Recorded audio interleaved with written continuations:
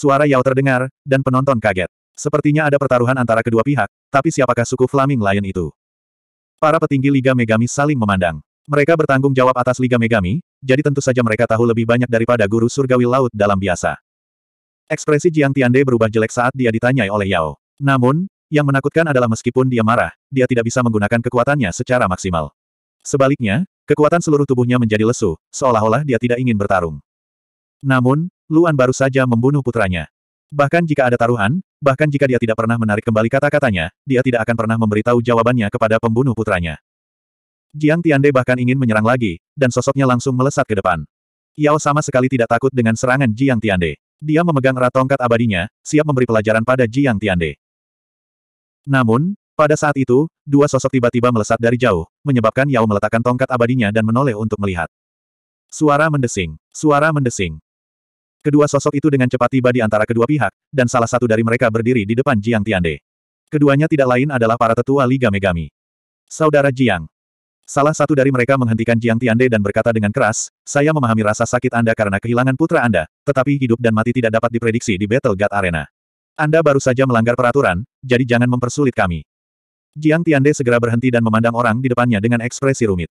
Kekuatan orang ini berada di atas kekuatannya. Karena pihak lain ada di sini, jelas dia tidak akan membiarkan situasi berkembang lebih jauh. Demi melindungi kepentingan Liga Megami, dia pasti akan bertarung jika menyerang lagi. Bagaimanapun juga, ini adalah Liga Megami. Bahkan jika dia adalah guru surgawi tingkat delapan, dia tidak bisa bertindak lancang di sini. Dia mengertakkan gigi dan menatap Luan dan Yao dengan mata pembunuh, lalu berbalik untuk pergi. Tunggu, Luan segera berteriak. Bagaimana dengan suku singa menyala? Jiang Tiande segera berbalik dan berteriak pada Luan, aku tidak akan memberitahumu. Datang dan bunuh aku jika kamu bisa. Begitu dia mengatakan itu, seluruh penonton tersentak dan mencemooh dengan keras. Selain fakta bahwa putranya selalu membunuh lawannya di setiap pertempuran, reputasi Jiang Tiande selalu cukup baik. Namun, kali ini, dia berdiri di depan begitu banyak penonton, jadi semua orang meremehkannya. Jiang Tiande mengabaikan ejekan itu dan berbalik untuk terbang. Luan sedikit mengernyit. Dia tidak menyangka pria ini akan menarik kembali kata-katanya. Namun, tidak ada yang bisa dia lakukan saat ini. Dia menoleh ke istrinya dan berkata, ayo kita tinggalkan tempat ini dulu. Tunggu, melihat mereka berdua hendak pergi, kedua tetua itu buru-buru memanggil. Salah satu dari mereka berkata, Apoteker Lu, bisakah Anda datang ke Liga Megami untuk istirahat? Kami dapat memberitahu Anda keberadaan suku Flaming Lion. Luan dan Yao terkejut saat mendengar ini. Dia berbalik dan menatap kedua tetua itu. Kedua tetua itu tersenyum dengan sangat tulus. Luan tidak menyangka identitasnya akan tetap dikenali. Namun, karena ada berita tentang suku singa api, Luan tentu saja tidak akan menyerah. Dia mengangguk dan berkata, baiklah. Tanda pisah tanda pisah tanda pisah. Tanda pisah tanda pisah tanda pisah. Pulau Dewa Pertempuran di Empat Laut Selatan. Ini adalah markas Liga Megami. Pada saat ini, portal teleportasi terbuka di luar aula utama, dan sekelompok orang keluar. Orang-orang ini tidak lain adalah Luan dan Yao dan beberapa tetua Liga Megami lainnya.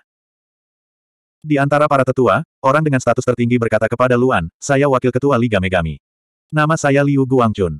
Apoteker Lu, jika Anda tidak keberatan, Anda bisa memanggil saya Saudara Liu. Saudara Liu, Luan menangkupkan tangannya dan berkata dengan sopan.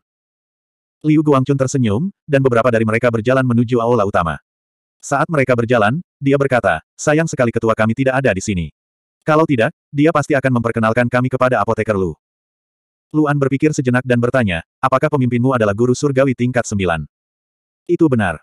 Liu Guangchun tersenyum dan berkata, jika dia bukan guru surgawi tingkat sembilan, bagaimana kita bisa mendukung Liga Megami? Kita pasti sudah lama berselisih satu sama lain. Luan sedikit mengangguk. Memang benar, ada banyak kematian dan cedera di Battle God Arena setiap hari. Hal semacam ini menyinggung banyak orang. Saya benar-benar tidak menyangka apoteker Lu dan Nyonya Lu datang ke sini. Jika kalian berdua ingin mengetahui sesuatu, mengapa Anda datang langsung kepada kami? Mengapa Anda harus berpartisipasi dalam Battle God Arena? Liu Guangchun memandang Luan dan menghela nafas. Namun, kami benar-benar tidak menyangka apoteker Lu adalah Dewa Iblis. Dewa Iblis adalah apoteker Lu. Ini benar-benar mengejutkan kami. Para tetua lainnya mengangguk. Luan tersenyum dan berkata, pada saat itu, tidak nyaman untuk mengungkap keberadaan kami. Ini menyebabkan banyak masalah bagi Liga Megami. Apoteker Lu, apa yang kamu katakan? Liu Guangchun menggelengkan kepalanya. Saat ini, kelompok itu sudah berjalan ke pintu masuk aula utama. Dia segera berkata, kalian berdua, silakan masuk. Semua orang masuk satu demi satu. Para pelayan menyajikan teh. Setelah semua orang membasahi tenggorokan mereka, Luan tidak ingin menyeretnya keluar. Dia langsung ke pokok persoalan dan bertanya, Saudara Liu, apakah Anda tahu keberadaan suku singa menyala? Para tetua saling memandang. Liu Guangchun membuka mulutnya dan berkata, tidak ada seorang pun di Liga Megami yang tahu lebih banyak dari kita. Sejujurnya, saya tidak tahu di mana suku Flaming Lion berada. Luan tercengang saat mendengar ini. Dia sedikit mengernyit. Suku singa api memang tinggal di empat laut selatan. Namun, empat laut selatan terlalu besar. Ada banyak pulau dan sangat sulit menemukannya. Liu Guangchun berkata, suku singa menyala adalah suku yang sangat arogan. Ada suku lain yang saya tidak tahu apakah apoteker Lu mengetahuinya. Suku tersebut disebut suku macan langit. Kedua suku ini selalu berselisih. Ketika mereka bertemu, mereka berkelahi. Mereka adalah musuh alami satu sama lain. Suku macan langit. Luan mengerutkan kening dan berkata, aku belum pernah mendengarnya. Apoteker Lu, wajar jika Anda belum pernah mendengarnya. Hanya orang seperti kita yang bertanya-tanya setiap hari yang tahu. Liu Guangchun berkata, suku macan langit berbeda dengan suku singa menyala. Suku singa menyala adalah binatang aneh yang hidup berkelompok. Namun, suku macan langit adalah binatang aneh yang bertarung sendirian. Selain memiliki hubungan darah, mereka jarang hidup bersama. Bahkan anggota suku yang sama akan saling membunuh. Inilah sebabnya mengapa hanya ada sedikit orang di suku ini dan sangat sedikit orang yang mengetahuinya. Saling membunuh dalam suku yang sama. Luan merenung sejenak. Ini sangat mirip dengan manusia. Suku harimau langit sangat kejam. Jika mereka memprovokasi mereka, mereka akan membunuh makhluk lain. Meski suku singa api juga sangat kejam, mereka tidak sebodoh suku macan langit. Liu Guangchun melanjutkan, namun, suku singa api adalah salah satu yang paling kejam di antara binatang aneh. Mereka sangat tidak kenal ampun terhadap manusia. Meskipun saya tidak tahu mengapa apoteker Lu mencari mereka, saya khawatir perjalanan ini akan terjadi. Bukan pertanda baik bagi mereka. Mendengar kata-kata Liu Guangchun, Luan dan Yao saling berpandangan. Luan menarik napas ringan, memandang Liu Guangchun dengan tenang, dan berkata, saya punya alasan untuk pergi. Jika saudara Liu tidak memiliki kabar apa pun, saya masih harus mencarinya. Saya akan pergi dulu. Dengan itu, Luan bangkit dan hendak pergi. Liu Guangchun tertegun dan dengan cepat berkata, meskipun saya tidak memiliki berita apa pun tentang suku singa menyala, saya tahu suku yang dapat menemukan mereka. Suku. Begitu dia mengatakan ini, Luan dan Yao berhenti dan duduk kembali. Luan bertanya, tolong beritahu saya, saudara Liu. Mata Liu Guangchun menyipit dan dia berkata dengan serius, naga air. Naga air. Luan jelas terkejut dan bertanya, naga air adalah naga. Itu benar. Liu Guangchun mengangguk dan berkata, naga air adalah sejenis naga. Mereka memiliki hubungan baik dengan suku singa menyala. Jika apoteker Lu dapat memindahkan mereka, mereka mungkin akan memberitahu Anda tentang suku singa menyala. Apakah Anda ingin bertemu dengan ras naga? Meskipun Luan tidak menunjukkannya, hatinya terasa berat. Dia memiliki dua buah kaisar naga. Dia tidak tahu apakah bertemu naga itu baik atau buruk. Dia belum siap. Pada saat ini, Yao Yao, yang selama ini diam, bertanya pada Liu Guangchun, naga selalu sombong. Mengapa mereka begitu dekat dengan suku singa menyala? Itu dulu, dan sekarang. Liu Guangchun menggelengkan kepalanya dan berkata sambil menghela nafas, naga legendaris memang sangat kuat, namun kenyataannya, naga tidak sekuat itu. Aku tidak akan menyembunyikannya dari kalian berdua. Naga paling banyak merupakan ras kelas satu, bahkan bukan ras teratas. Selama bertahun-tahun, para naga telah bertarung satu sama lain. Mereka semua ingin menjadi raja dan kaisar, tetapi vitalitas mereka rusak parah dan tidak dapat bangkit. Tidak hanya itu, naga air merupakan jenis naga yang sangat lemah. Mereka tidak bisa bertarung melawan naga lain, dan mereka tidak ingin terlibat dalam perselisihan ini. Karena itulah mereka memilih untuk meninggalkan tempat berkumpulnya para naga dan kemarilah. Namun, mereka terlalu lemah, sehingga mereka menurunkan harga diri mereka dan berteman dengan suku Flaming Lion, mencari perlindungan dari suku Flaming Lion. Mendengar penjelasan Liu Guangchun, mata Luan dan Yao menunjukkan sedikit simpati. Mereka telah mendengar dari Yuan bahwa sebelum delapan era kuno, naga sangatlah kuat. Mereka menguasai seluruh delapan benua kuno bersama dengan Sengoku. Sekarang, mereka bertengkar satu sama lain dan bahkan tinggal di bawah atap orang lain. Pada saat ini, Ketika Yao Yao memikirkan situasi Semoku, matanya yang indah menunjukkan kekecewaan. Seberapa jauh Semoku lebih baik dari para naga? Luan mengulurkan tangan dan memegang tangan halus istrinya. Dia menoleh ke Liu Guangchun dan berkata, Saudara Liu, tolong beritahu saya keberadaan naga air. Tentu saja tidak masalah. Liu Guangchun mengangguk dan berkata, tetapi sebagai syarat, saya juga ingin meminta bantuan apoteker Lu. Luan terkejut dan bertanya, Saudara Liu, tolong beritahu saya. Wajah Liu Guangchun menjadi sangat serius. Dia menarik napas dalam-dalam dan berkata, bantu aku menyelamatkan seseorang. 1482. Luan terkejut dan bertanya, apakah untuk mengobati seseorang? Itu benar. Liu Guangchun mengangguk dan berkata, apoteker Lu adalah juara konferensi ini. Jika dia tidak dapat menyelamatkan seseorang, maka saya tidak tahu siapa yang harus dicari. Luan sedikit mengernyit. Meskipun ada hubungan antara merawat orang dan memurnikan pil, itu tidak terlalu besar. Apoteker hanya memurnikan pil, sedangkan dokter merawat orang, seperti Sun Shaosheng di Akademi Starfire. Namun, setelah mengalami banyak hal, Luan sedikit banyak telah belajar bagaimana memperlakukan orang lain, apalagi istrinya adalah putri negara berperang. Luan menoleh ke arah Yao dan menanyakan pendapatnya. Yao tentu saja tidak akan keberatan. Setelah menerima penegasan Yao, Luan memandang Liu Guangchun lagi dan berkata, saya tidak dapat menjamin bahwa saya dapat menyembuhkannya, tetapi saya dapat mencobanya. Terima kasih, apoteker Lu, Nyonya Lu. Liu Guangchun sangat gembira. Beruntung seseorang seperti apoteker Lu dapat membantunya. Dia berkata, apa pun hasilnya, saya akan memberitahu Anda informasinya. Kemudian, Liu Guangchun berdiri dan berkata, silakan ikuti saya. Luan dan Yao berdiri dan mengikuti Liu Guangchun keluar dari aula, terbang langsung ke kejauhan. Segera, mereka bertiga tiba di halaman terpencil.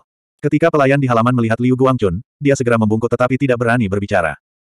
Liu Guangchun mengangkat tangannya dan memimpin jalan. Mereka bertiga berjalan menuju rumah. Liu Guangchun dengan lembut mendorong pintu hingga terbuka tanpa mengeluarkan suara apa pun. Mereka bertiga memasuki rumah satu demi satu. Ketika mereka memasuki kamar tidur, mereka langsung melihat pasien. Ini adalah seorang pria muda yang tampak berusia dua puluhan.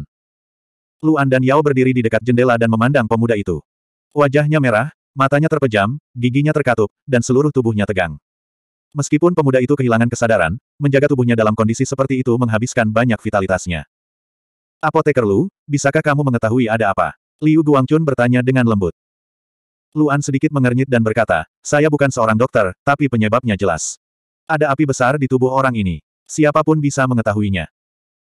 Kemudian, Luan menoleh ke Liu Guangchun dan bertanya, jika itu adalah kebakaran biasa, saudara Liu akan menyelesaikannya. Jika memungkinkan, saya berharap saudara Liu dapat memberitahu saya bagaimana orang ini terluka. Mendengar kata-kata Luan, Liu Guangchun mengerutkan alisnya dan menunjukkan ekspresi gelisah. Luan dan Yao tentu saja tidak akan mendesak Liu Guangchun. Namun, Liu Guangchun tidak menjawab bahkan setelah beberapa tarikan napas. Luan tidak ingin memaksanya dan berkata, karena itu masalahnya, aku akan mencoba mencari sendiri penyebabnya. Tidak ada yang tidak bisa dikatakan. Bahkan jika ketua aliansi ingin menghukumku, aku akan menerimanya. Liu Guangchun menarik napas dalam-dalam, mengertakkan gigi, dan berkata, sejujurnya, apoteker Lu, ketua Liga Megami adalah saudara laki-laki saya. Anak ini adalah putra saya. Empat tahun lalu, saya dan saudara laki-laki saya mengajaknya berlatih, dan kami tiba-tiba bertemu dengan beberapa orang. Orang-orang ini sangat kuat, dan mereka menggunakan kekuatan mereka untuk berbicara kasar kepada kita. Bagaimana kakak bisa menanggung penghinaan orang lain? Dia segera menyerang. Luan dan Yao mengerutkan kening. Dia tidak mengatakan apa pun dan mendengarkan dengan tenang. Namun, kekuatan orang-orang ini berada di luar imajinasi kita. Meskipun mereka hanya guru surgawi tingkat sembilan, serangan mereka sangat kuat. Kakakku melihat situasinya tidak bagus dan menggunakan kekuatan armor untuk membantu kami melarikan diri. Meskipun kami berhasil melarikan diri, sesuatu terjadi karenanya. Liu Guangchun mengertakkan gigi dan memandang pemuda di tempat tidur. Akibat dari pertempuran itu secara tidak sengaja menimpanya. Meskipun itu hanya jejak, kami tidak bisa berbuat apa-apa sampai sekarang. Jejak kekuatan guru surgawi tingkat sembilan sudah cukup untuk membuat ketua Liga Megami tidak berdaya.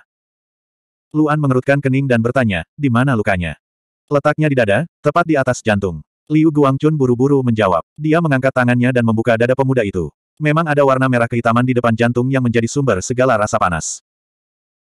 Namun, ketika Luan dan Yao melihat luka itu, tubuhnya gemetar dan dia saling memandang. Tidak heran bahkan ketua Liga Megami pun tidak berdaya. Kekuatan yang menimpa orang ini tidak lain adalah racun api kelancu. Luan secara pribadi telah merawat luka Yuerong, jadi dia sangat familiar dengan racun api. Dia berjalan di depan orang tersebut dan meletakkan tangannya di dada orang tersebut. Orang ini adalah guru surgawi tingkat tujuh dan tidak sekuat Yuerong. Luan dapat merasakannya dengan jelas meskipun tidak menyentuh kulit orang tersebut. Jantungnya berdebar kencang, dan memang ada racun api di perikardiumnya. Namun racun api ini berukuran sangat kecil dan sangat sulit dideteksi. Meski begitu, racun dalam jumlah kecil sudah cukup untuk melukai guru surgawi tingkat tujuh secara serius. Jika bukan karena perlindungan susunan di sekitar tempat tidur, yang menjebak racun di perikardium dan mencegah penyebarannya, orang tersebut akan mati di tempat jika menyentuh jantung. Namun, jika itu hanya sepotong kecil racun api, itu tidak berarti apa-apa bagi Luan. Luan mengangkat tangannya yang lain dan langsung mengganti jarak di antara kedua tangannya. Luan langsung memindahkan racun api di perikardium orang tersebut ke tangannya yang lain. Kemudian, api suci surga ke-9 muncul dan membakar sepotong kecil racun api. Setelah beberapa saat, racun apinya hilang sama sekali. Bahkan jika ia kembali ke perikardium, ia akan menjadi tidak berguna sama sekali dan akan segera dikeluarkan dari tubuh. Setelah itu, Luan berhenti dan menoleh ke Liu Guangchun dan berkata, racun api telah dihilangkan. Sekarang, mari kita pulihkan tubuhnya secara perlahan. Dia akan segera bangun. Liu Guangchun tercengang saat mendengar itu. Dia bahkan tidak bereaksi. Dia dengan cepat bertanya, benarkah? Benar-benar, Luan mengangguk dan berkata, dia akan bangun kurang dari tujuh hari. Mata Liu Guangchun langsung memerah. Dia begitu bersemangat hingga tubuhnya gemetar. Dia segera melihat putranya di tempat tidur. Memang warna hitam dan merah di depan hati sudah hilang sama sekali. Hanya badannya yang masih merah. Akhirnya, Liu Guangchun tidak bisa menahan tangisnya. Dia hanya memiliki satu anak dalam hidupnya. Untuk menyelamatkan anak ini, dia pergi ke mana-mana untuk berobat. Dia kelelahan mental dan fisik selama empat tahun. Dia tidak menyangka Luan akan benar-benar menyembuhkannya. Luan dan Yao tahu bahwa Liu Guangchun sedang emosional. Dia tidak terburu-buru. Dia meninggalkan rumah dan pergi ke halaman untuk menunggu. Liu Guangchun sangat sopan. Dia tidak membiarkan Luan dan Yao Yao menunggu terlalu lama. Dia segera keluar dan berdiri di depan Luan. Dia langsung membungkuk. Pinggangnya hampir patah. Saudara Liu, kamu tidak perlu melakukan ini. Luan segera menghentikannya dan berkata. Saya, Liu Guangchun, tidak akan pernah melupakan kebaikan besar apoteker Lu. Mata Liu Guangchun memerah. Dia sangat gembira dan berkata dengan tegas, kali ini, akhirnya sembuh. Kakakku berlarian keluar untuk masalah ini. Aku harus segera memberitahu dia untuk kembali. Lalu, Liu Guangchun menarik napas dalam-dalam. Dia tahu bahwa Luan dan Yao Yao sangat peduli dengan berita tentang suku Flaming Lion. Dia segera berkata, saya akan membawa kalian berdua ke sana segera. Tanda pisah tanda pisah tanda pisah. Tanda pisah tanda pisah. Setelah tiga tarikan napas, di atas lautan tanpa batas, susunan sihir pemancar menyala. Tiga orang keluar, itu adalah Liu Guangchun dan Luan dan Yao. Luan dan Yao memandangi laut. Tidak ada bedanya dengan laut biasa. Tidak ada pulau. Liu Guangchun tidak menunda. Dia segera mengangkat tangannya dan menunjuk ke arah selatan. Dia berkata, 200 ribu mil selatan dari sini, ada sebuah pulau yang sangat besar. Ada pohon buah-buahan kristal di pulau itu. Itu adalah tanaman yang ditanam oleh naga air. Luan dan Yao terkejut. Mereka tidak mengira naga air akan menanam sesuatu. Pohon buah kristal matang sekali dalam satu musim. Hari ini tanggal 21 Desember. Kalau tidak salah ingat, besok tanggal 22 Desember. Itu akan menjadi hari di mana buahnya matang pada musim ini. Liu Guangchun memandang Luan dan berkata, naga air menanam pohon buah kristal di banyak pulau. Perlu waktu lama untuk memanennya. Pasti akan dipanen pada hari yang sama. Selama kalian berdua menunggu di pulau besok, kalian pasti akan melihat naga air. Setelah Luan mendengar ini, dia teringat semuanya. Dia menangkupkan tangannya dan berkata kepada Liu Guangchun, Terima kasih, Saudara Liu. Saya yang seharusnya berterima kasih kepada Guru Lu. Bagaimana mungkin hanya sepotong informasi saja bisa dibandingkan dengan anugerah penyelamatan hidup Guru Lu? Liu Guangchun menangkupkan tangannya dan berkata dengan sangat serius, jika Guru Lu membutuhkan bantuan di masa depan, saya tidak akan ragu untuk melewati air dan menginjak api. Jika perlu, Liga Megami juga tersedia untuk digunakan Master Lu. Begitu dia mengatakan ini, Luan dan Yao terkejut. Mereka tidak menyangka Liu Guangchun menjadi begitu serius. Luan tidak menolak dan berkata, baiklah, terima kasih, Saudara Liu. Liu Guangchun mengangguk dan berkata, saya masih ingin kembali dan menemui putra saya. Saya tidak akan mengirim kalian berdua pergi. Jika kalian berdua tidak dapat menemukan pulau itu, kalian dapat mencari saya di Liga Megami. Saya pribadi akan membawa kalian berdua ke sana. Baiklah, Luan berkata lagi, Saudara Liu, silakan lanjutkan. Dengan itu, Liu Guangchun membuka portal teleportasi dan pergi. Hanya Luan, Yao, dan Yao Si yang tersisa. Istirahat sebentar. Dia memandang Luan dari jauh dan berkata dengan lembut, lukamu belum pulih. Ini bahkan belum tengah hari. Kita masih bisa melakukannya. Tidak apa-apa, lukaku hampir sembuh. Itu tidak akan mempengaruhi perjalanan kita. Luan menggelengkan kepalanya dan berkata, belum terlambat untuk beristirahat ketika kita sampai di tempat itu. Ayo pergi sekarang. 1483. Pada.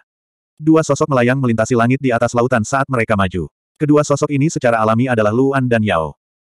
Luan maju dengan kecepatan penuh, sementara Yao menemani Luan. Jarak 200 ribu mil tidak dianggap dekat untuk mereka berdua, dan mereka perlu meluangkan waktu untuk mencapainya. Tapi bagaimanapun juga, mereka pasti bisa mencapainya sebelum malam tiba.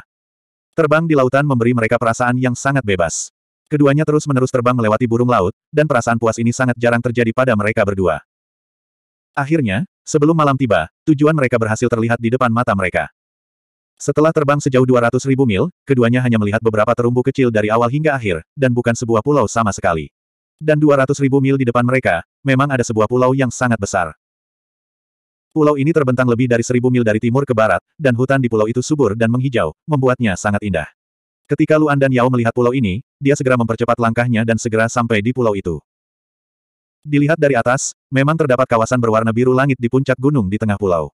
Pohon buah-buahan ini sangat tinggi, dan masing-masing tingginya setidaknya 60 meter. Ada buah berwarna biru langit di atasnya, dan setiap buah berukuran dua kali lebih besar dari semangka, dengan diameter tiga inci. Ayo turun, kata Luan. Keduanya dengan cepat turun, memasuki hutan, dan mendarat di puncak gunung di tengahnya. Mereka berdua memandangi buah-buahan berwarna biru langit ke segala arah. Ini pasti pohon buah kristal yang disebutkan Liu Guangchun, bukan? Luan tiba di atas pohon, dan berdiri sejajar dengan buah kristal.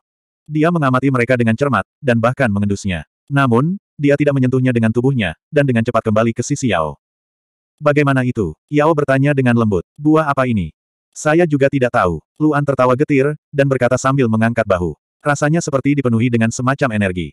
Kurasa itu adalah buah yang ditanam oleh naga air untuk mengisi kembali energinya, sama seperti cara kita manusia memakannya. Namun, energi dalam buah ini sangat besar, dan bahkan naga pun tidak perlu makan terlalu banyak. Ini sangat nyaman. Yao mengangguk ringan, dan mereka berdua segera meninggalkan wilayah ini, dan sampai ke puncak gunung di sampingnya untuk beristirahat. Karena perjalanan jauh dan luka di tubuhnya, Luan perlu memulihkan diri.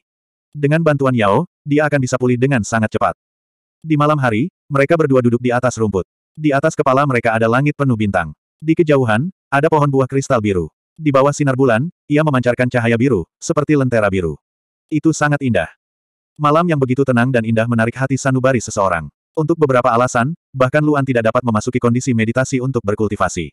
Dia berbalik untuk melihat istrinya di sampingnya. Suami, Yao juga menatapnya, dan berkata dengan lembut. Namun, pemandangan indah malam itu bahkan tidak sampai sepersepuluh ribu jaraknya. Jantung Luan berdebar kencang. Dia dengan lembut bersandar di bahu Luan, menutup mata indahnya, dan menciumnya. Tubuh Luan gemetar. Sebagai seorang laki-laki, dia tentu saja tidak bisa membiarkan Yao mengambil inisiatif dalam masalah seperti ini. Dia berbalik dan dengan lembut meletakkan Yao di atas rumput. Di penghujung musim dingin, kehangatan menyebar di udara. Tanda pisah tanda pisah tanda pisah. Tanda pisah tanda pisah tanda pisah. Pagi selanjutnya. Luan perlahan membuka matanya dan memandangi pohon buah kristal di puncak gunung di depannya. Dia tidak tidur. Setelah bercinta dengan Yao tadi malam, dia membujuknya untuk tidur, sementara dia terus berjaga. Liu Guangchun berkata bahwa dia akan datang kapan saja hari ini. Siapa yang tahu kalau dia akan datang di tengah malam? Jika dia melewatkan hari ini, dia harus menunggu tiga bulan lagi. Namun, tidak ada pergerakan tadi malam, jadi Luan duduk di sana sepanjang malam dengan sia-sia. Langit berangsur-angsur cerah, dan Yao perlahan terbangun. Luan mengeluarkan dua buah dari cincinnya dan membaginya satu sama lain. Keduanya duduk bersama dan menunggu kedatangan naga air. Namun, naga air sepertinya bergerak sangat lambat. Mereka tidak muncul dari fajar hingga siang hari. Melihat pohon buah kristal di puncak gunung di depannya, Luan bahkan berdoa dalam hatinya agar naga air tidak melupakan pulau ini. Sore harinya, tiba-tiba terdengar suara gemuruh dari langit. Yao mendengar suara itu terlebih dahulu dan segera meninggalkan bahu Luan. Dia mengangkat kepalanya dan melihat ke arah selatan. Saat melihat ini, hati Luan bergetar. Dia pun segera melihat ke arah selatan. Dengan sangat cepat, dia juga mendengar suara samar datang dari langit, tapi dia tidak bisa melihat apa pun. Mereka di sini, Yao berkata dengan lembut.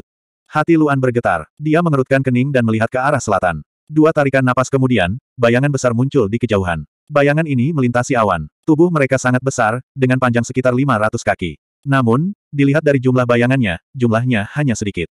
Bayangan hitam itu semakin dekat dan jelas. Bayangan hitam di kejauhan kini dipenuhi warna. Yang tersembunyi di balik awan bukanlah hitam sama sekali, melainkan biru seperti laut. Di bawah terik matahari musim dingin, tetesan air di tubuhnya memancarkan cahaya warna-warni, seperti pelangi. Itu sangat indah. Luan mengamati pergerakan megalosaurus ini. Dia bahkan bisa melihat sedikit pun keanggunan. Naga air ini akhirnya sampai di atas pulau. Setelah berputar dua kali di langit, mereka berubah menjadi empat sinar cahaya biru dan bersinar di puncak gunung tengah. Hati Luan bergetar. Dia segera berkata pada Yao. Cari mereka. Yao segera mengangguk. Keduanya terbang dari puncak gunung, langsung turun menuju pinggiran puncak gunung tengah. Keduanya maju di hutan buah kristal. Dengan sangat cepat, mereka mendengar ledakan tawa. Luan sedikit terkejut. Dia berjalan menuju tengah hutan buah bersama Yao. Akhirnya, empat sosok muncul di hadapan mereka.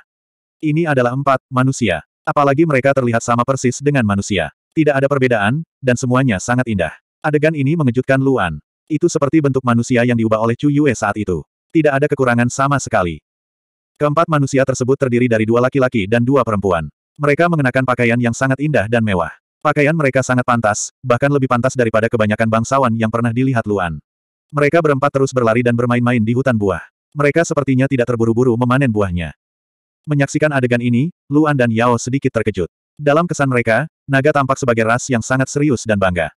Apalagi setelah melihat naga perobek langit, mereka benar-benar tidak menyangka akan ada naga yang begitu bahagia. Namun, karena mereka sudah ada di sini, Luan tentu saja tidak akan mundur. Setelah menarik napas ringan, dia berinisiatif untuk berjalan ke depan. Yao mengikuti di samping Luan. Saat keduanya berjalan keluar dari kegelapan hutan buah, mereka langsung ditemukan oleh empat manusia yang sedang bermain-main. Mereka buru-buru melihat mereka berdua dan dengan hati-hati berkumpul. Mata mereka dipenuhi permusuhan.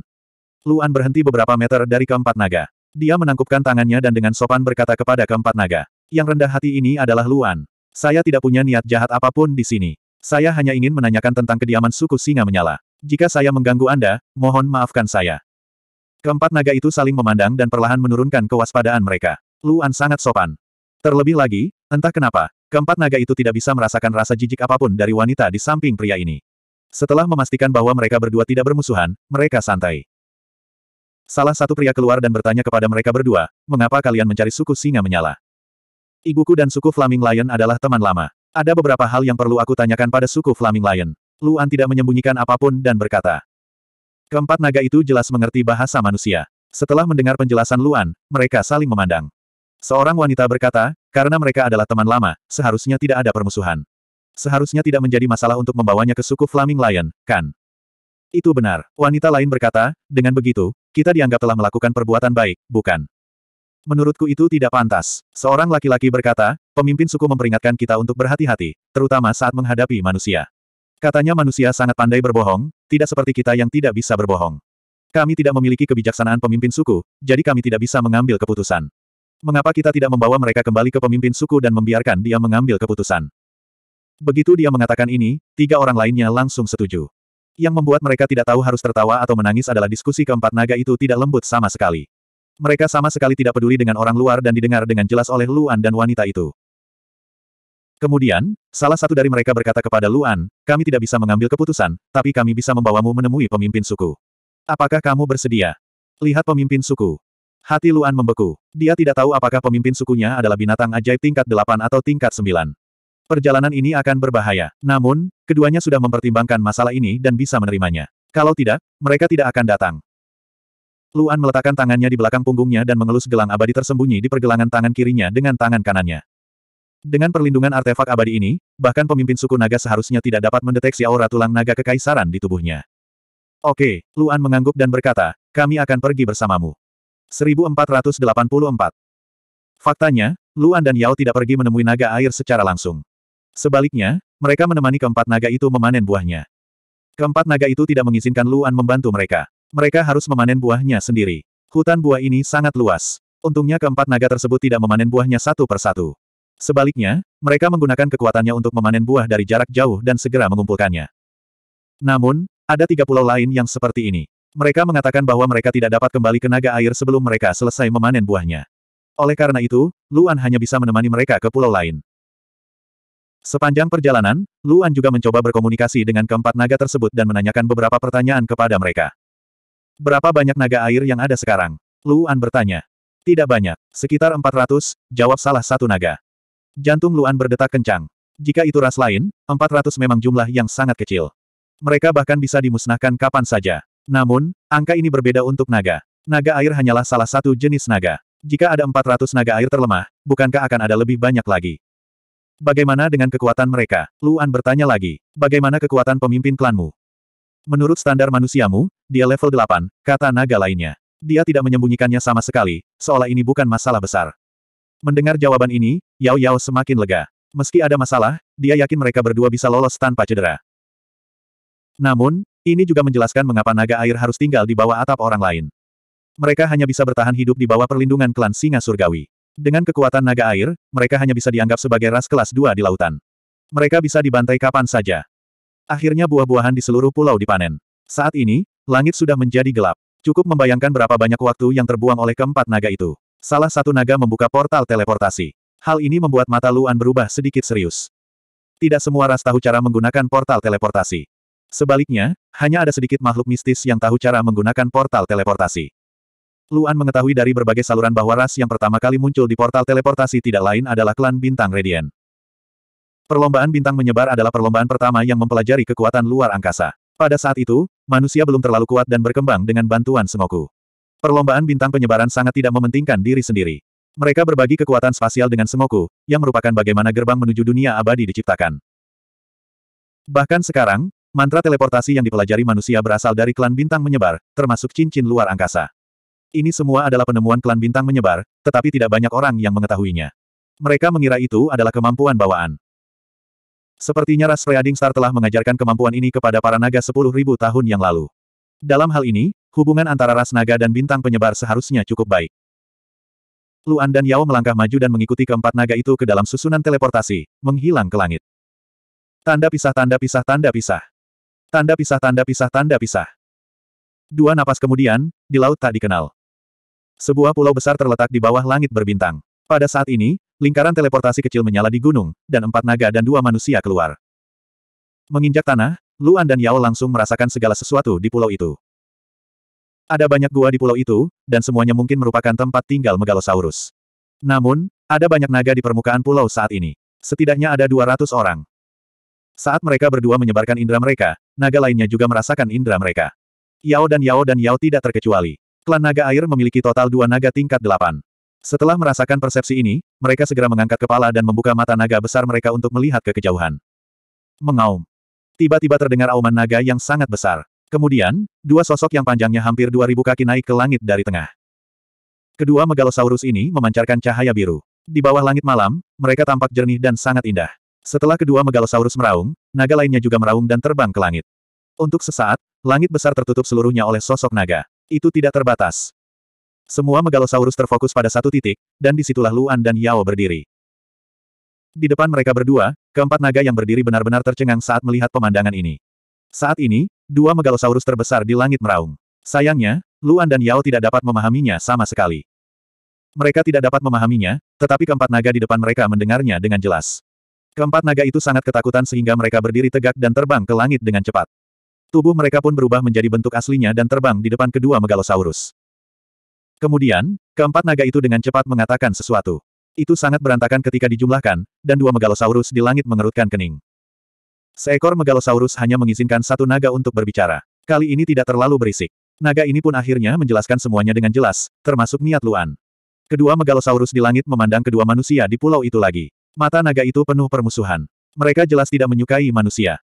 Luan tersenyum pahit. Dia sudah sering melihat situasi seperti ini. Setelah bertukar pandang dengan Yao, kedua tubuh mereka memancarkan cahaya. Tubuh Yao memancarkan cahaya tujuh warna, dan tubuh Luan memancarkan cahaya putih. Tak hanya itu, ia juga mengangkat tangannya. Ada cahaya biru ilusi di telapak tangannya. Ini tidak lain adalah kekuatan Extended Star. Saat ketiga cahaya itu muncul, dua megalosaurus di langit tercengang. Mereka secara alami tahu apa arti lampu-lampu ini. Segera, permusuhan mereka lenyap. Mereka berubah menjadi dua lampu biru dan turun dari langit. Mereka menjelma menjadi wujud manusia dan berdiri di depan kedua manusia itu. Melihat ini, Luan tidak bisa menahan senyum pahit di dalam hatinya. Dia sangat ingin tahu apa yang telah dilakukan klan Hachiko di masa lalu. Bagaimana klan Semoku bisa disukai di mana-mana, dan klan Hachiko dibenci di mana-mana. Dua orang di depannya adalah seorang pria dan seorang wanita. Pria parubaya tampan itu menangkupkan tangannya dan berkata, jadi kalian berdua berasal dari klan Semoku dan Bintang Panjang. Maafkan aku atas kekasaranku. Luan tersenyum dan menangkupkan tangannya. Senior, kamu terlalu sopan. Akulah yang datang tiba-tiba. Melihat Luan begitu sopan dan rendah hati, kedua naga itu memiliki kesan yang jauh lebih baik terhadap kedua manusia itu. Pria parubaya itu berkata, jika diterjemahkan ke dalam bahasa manusia, namaku Wensing. Dia kekasihku. Namanya Lin Le. Dia Le seperti dalam musik. Luan membungkuk lagi dan berkata, Salam, Senior Wensing dan Senior Lin Le. Wensing tersenyum dan berkata, silakan ikuti saya. Mereka berempat terbang dan segera sampai di puncak gunung di tengah pulau. Gunung itu subur dan hijau. Tidak ada pohon yang dirusak karena habitat naga. Alasannya sederhana. Naga air tinggal di pulau itu dan semuanya akan berubah menjadi bentuk manusia. Ini halaman kami. Wensing menunjuk ke halaman sederhana di depan mereka dan berkata, sekarang manusia telah menduduki benua ini, kami para naga tidak punya tempat tinggal setelah diusir. Ada terlalu sedikit tempat di luar benua yang dapat menampung ukuran kita. Kami para naga air harus meninggalkan para naga untuk hidup sendiri. Kita hanya bisa menemukan pulau biasa seperti ini dan hanya bisa menjelma menjadi wujud manusia untuk hidup. Mendengar perkataan Wensing, Luan merasa sedih di dalam hatinya. Delapan benua kuno sangat besar. Para naga dapat hidup bebas dalam bentuk aslinya dan memiliki tanah yang luas untuk beristirahat. Namun kini, naga air harus berubah wujud menjadi manusia agar dapat hidup. Jika manusia harus berubah menjadi semut untuk hidup, betapa memalukannya hal itu. Tempatnya sedikit sederhana dan tidak bisa dibandingkan dengan kondisi kehidupan manusia. Tapi buah kristal yang kita tanam lumayanlah. Mereka bisa dijual dengan harga bagus di antara binatang aneh. Saya akan membuatkan satu untuk Anda coba. Saat dia berbicara, Wensing mengeluarkan buah kristal dan meletakkannya di atas meja di depan mereka. Melihat buah kristal besar itu, Luan dan Yao sedikit tercengang. Bagaimana mungkin mereka menyelesaikannya? Tapi mereka juga sangat penasaran. Mereka memotong sepotong kecil buah kristal dan memasukkannya ke dalam mulut mereka. Begitu buah kristal masuk ke perut mereka, rasa dingin menyebar ke seluruh tubuh mereka. Ini adalah kekuatan laut dan bintang. Luan sedikit menyipitkan matanya. Kekuatan ini agak mirip dengan kekuatan Extended Star, tetapi ada juga perbedaan besar. Kekuatan ini sangat lembut, meski dingin, namun membuat orang merasa sangat nyaman. Itu seperti sebuah adegan puitis. Saat ini, mata Luan menyipit. Dia menundukkan kepalanya sedikit. Wensing dan Lin Lei, yang berdiri, tidak bisa melihat matanya. Buah kristal ini adalah tanaman unik yang hanya dimiliki oleh naga air kita. Wensing berkata sambil tersenyum dan nada bangga, itu terjadi lebih dari 10.000 tahun yang lalu. Nenek moyang ras bintang besar dan ras naga air kita memiliki hubungan pribadi yang baik. Mereka bersama-sama membudidayakan tanaman ini. Setengahnya adalah kekuatan ras Extended Star dan setengahnya lagi adalah kekuatan naga. Kekuatannya sendiri sangat murni. Setelah pergolakan, kami juga memutuskan kontak dengan ras Extended Star. Budidaya buah kristal juga sedikit berubah. Kekuatan naga adalah kekuatan utama dan kekuatan ras Extended Star adalah kekuatan tambahan. Saat dia berbicara, Wen Xing memandang Luan dan bertanya sambil tersenyum, sebagai anggota ras Extended Star, kamu seharusnya merasa sangat akrab setelah memakan buah kristal ini, bukan? Luan mengangkat kepalanya dan tersenyum. Dia mengangguk dan berkata, sangat familiar. Yao sedikit terkejut. Dia duduk di samping Luan dan melihat tangan Luan yang terkepal di bawah meja dengan jelas.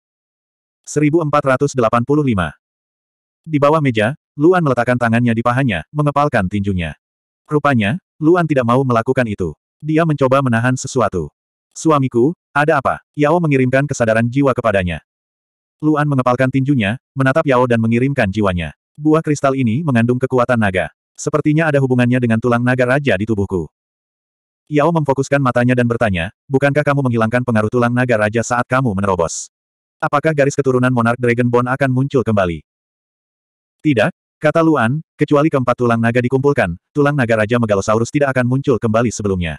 Buah kristal ini memberi nutrisi pada tulang naga rajaku. Lenganku dan tulang-tulang di tubuh bagian atasku mati rasa. Saya tidak tahu apa efeknya. Mendengar penjelasan Luan, Yao menghela napas lega. Namun, dia tetap khawatir.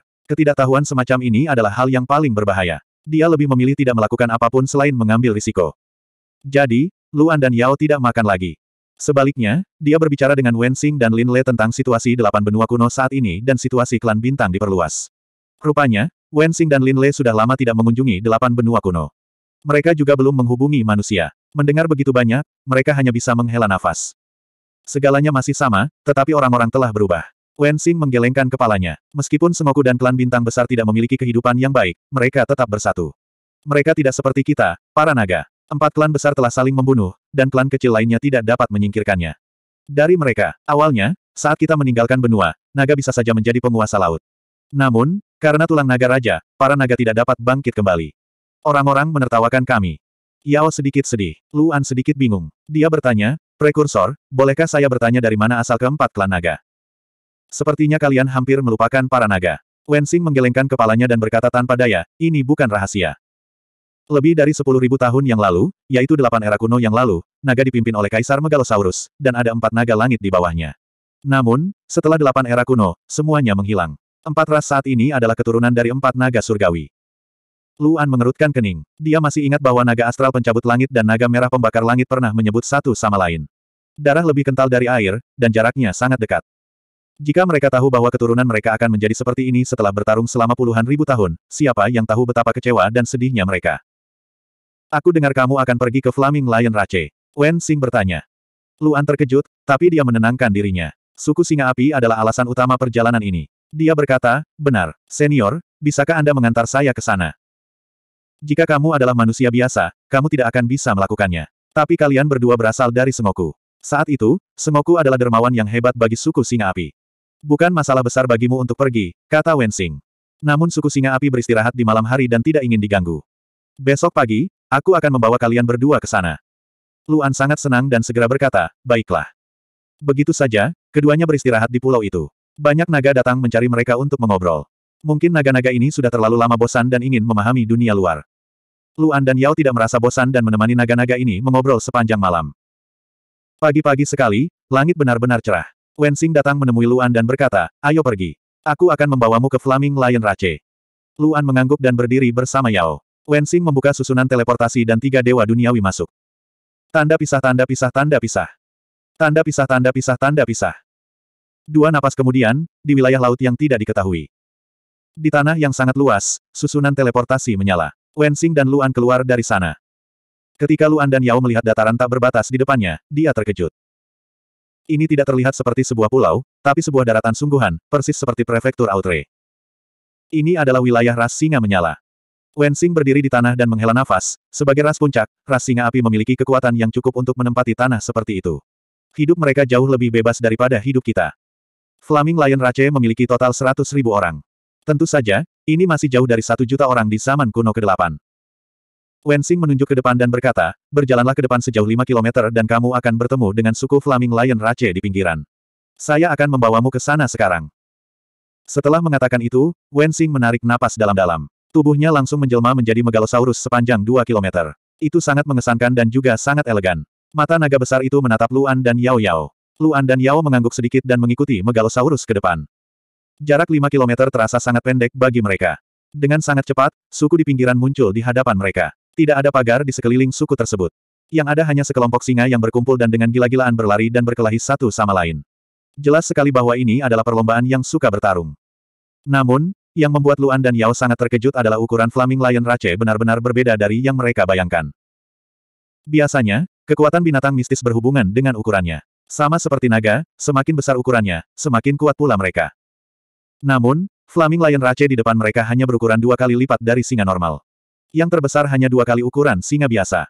Panjangnya sekitar delapan kaki, dan sangat sedikit yang panjangnya lebih dari tiga meter. Ada total seribu Flaming Lion Rache yang berkumpul, tetapi ukurannya jauh lebih kecil dari Megalosaurus.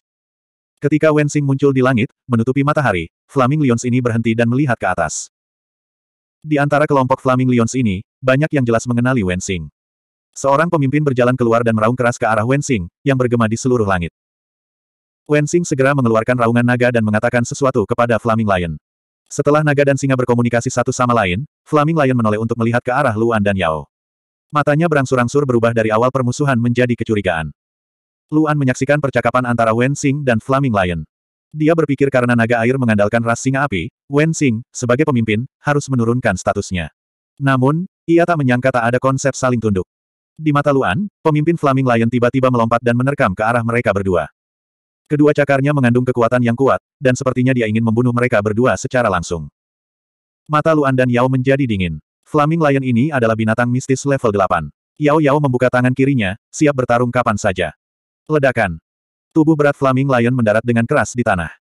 Jaraknya kurang dari 3 meter dari mereka berdua, dan menimbulkan banyak debu dan kerikil. Luan melepaskan ki abadi untuk memblokir debu, sehingga tidak menyentuh mereka berdua.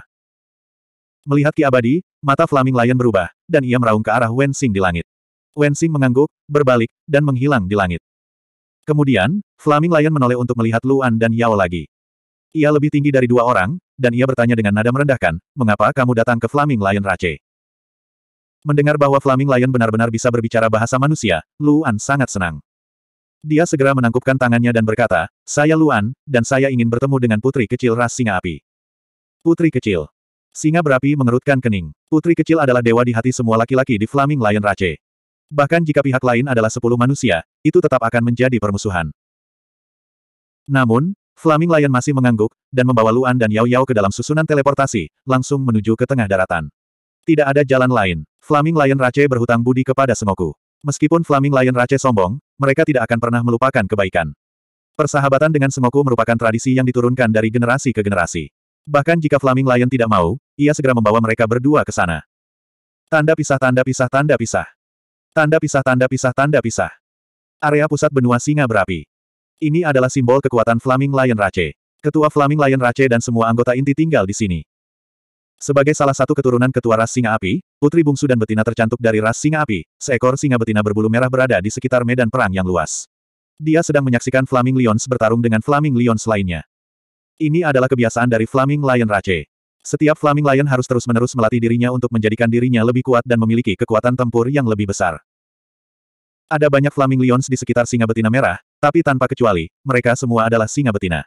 Tidak ada satupun singa jantan yang bisa mendekatinya. Ini selalu menjadi sifat putri kecil. Dia tidak pernah menyukai singa jantan mana pun, dan bahkan merasa jijik. Dia hanya membiarkan singa betina mendekatinya. Pada saat itu, seekor singa betina tiba-tiba berlari dari jauh dan mendatangi sisi singa betina merah. Dia segera mengatakan sesuatu kepada singa betina merah dalam bahasa Flaming Lion. Putri, singa betina dengan cepat berkata, dua manusia dari Sengoku ingin bertemu denganmu. Orang dari Sengoku. Singa betina merah terkejut dan bertanya, di mana orang tuaku? Bagaimana dengan saudara-saudaraku? Ketua tidak ada di sini. Singa betina segera berkata, selanjutnya, mereka secara khusus meminta untuk bertemu denganmu. Saat dia mengatakan ini, mata singa betina merah itu dipenuhi keraguan. Dia tanpa sadar bertanya, siapa nama mereka? Mendengar ini, singa betina mengangkat kepalanya dan memandang sang putri sambil berkata, wanita itu bernama Yao, dan pria itu bernama Luan. Luan. Luan. Tubuh singa betina merah bergetar hebat. Sedikit rasa tidak percaya langsung menutupi matanya. 1486. Di tengah benua singa api, Luan dan Yao dikelilingi oleh sekelompok singa api. Ratusan singa api mengepung mereka berdua dan berjarak kurang dari empat kaki dari mereka. Ada lebih banyak lagi singa api yang berlarian. Namun, singa api ini tidak memiliki rasa permusuhan terhadap kedua manusia ini. Setelah mengetahui bahwa mereka berasal dari Semoku, para singa api ini semakin penasaran. Bahkan klan singa api belum pernah berhubungan dengan negara-negara berperang selama ribuan tahun. Tak satu pun dari singa api di sini yang pernah melihat seseorang dari Semoku. Ini adalah pertama kalinya dalam hidup mereka. Bagaimana mungkin mereka tidak bersemangat? Singa api yang paling dekat dengan mereka berdua secara alami memiliki status dan kekuasaan yang tinggi. Mereka adalah anak-anak pemimpin klan. Mereka memandang Luan dan Yao dengan rasa ingin tahu. Salah satu singa api bertanya, kamu berasal dari Sengoku. Bisakah Anda melepaskan energi abadi untuk kami lihat? Di mana Sengoku sekarang? Kami mendengar bahwa tempat tinggal Anda sangat indah. Bisakah kita melihatnya? Kenapa kamu tiba-tiba datang ke sini? Apa masalahnya? Singa-singa di sekitar mereka berisik. Ditambah dengan suara keras mereka, telinga Luan dan Yao dipenuhi dengan kebisingan. Luan dan Yao merasa tidak berdaya. Pada saat ini, salah satu singa api berbicara. Segera, Singa api lainnya menutup mulut mereka. Sosok dan keagungan singa api ini jelas berbeda dengan singa api lainnya. Itu lebih mulia. Ia memandang mereka berdua dan bertanya, mengapa kamu mencari putri kecil? Luan berpikir sejenak dan tidak menjawab. Dia merasa singa api ini mungkin tahu tentang hubungan antara ibunya dan putri kecil. Dengan cara ini, mereka juga akan mengetahui hubungannya dengan klan Hachiko. Akan sangat buruk jika kelompok orang ini kehilangan akal sehatnya dan menyerang. Tidak peduli apa, dia harus menunggu sampai putri kecil itu tiba. Melihat mereka berdua tidak berbicara, singa api mengerutkan kening dan langsung merasa tidak senang. Bahkan jika keduanya berasal dari Semoku, mereka tidak bisa begitu sombong. Itu hendak menegur mereka berdua. Ini adalah klan singa api. Teriak singa api. Karena kamu di sini, kamu harus mematuhi peraturan kami. Beritahu kami tujuanmu. Mendengar teguran singa api, Luan sedikit mengernyit dan menoleh ke arah Yao. Yao tahu apa yang ingin ditanyakan Luan, dan menyampaikan, dia adalah binatang mistik peringkat delapan, dan kekuatannya berada di atas kekuatanku. Setidaknya ada lusinan binatang mistik peringkat delapan di sekitarnya. Mendengar nomor ini, hati Luan menjadi sedikit berat. Dia tidak memahami singa api ini, dan jika temperamennya mudah tersinggung dan benar-benar menyerang, dia tidak ingin membahayakan dirinya dan Yao Yao. Sepertinya apa pun yang terjadi, dia harus mengatakannya terlebih dahulu. Luan menarik napas ringan. Saat dia hendak berbicara, raungan keras tiba-tiba datang dari belakangnya. Raungan yang tiba-tiba itu mengejutkan Luan dan Yao, dan dia segera berbalik untuk melihat. Tidak hanya mereka terkejut, semua singa api juga sama. Singa api di belakangnya segera membuka jalan. Setelah itu, seorang wanita dengan bulu merah di sekujur tubuhnya muncul di depan Luan dan berjalan selangkah demi selangkah. Saat dia melihat singa betina, lautan kesadaran Luan bergetar. Tiba-tiba, sebuah gambar muncul di lautan kesadarannya. Itu adalah malam yang penuh kilat, guntur, dan hujan lebat. Seorang bayi digendong oleh seorang wanita cantik, dan di bawah wanita itu ada seekor singa dengan api merah di sekujur tubuhnya, berlari dengan ganas di tepi sungai kuno. Wanita itu terlalu lemah. Dia hampir pingsan saat melindungi bayinya dari hujan deras. Akhirnya, dia tidak bisa mengendalikan kesadarannya dan pingsan. Singa api merah terkejut. Ia dengan cepat berbalik dan memeluk wanita itu.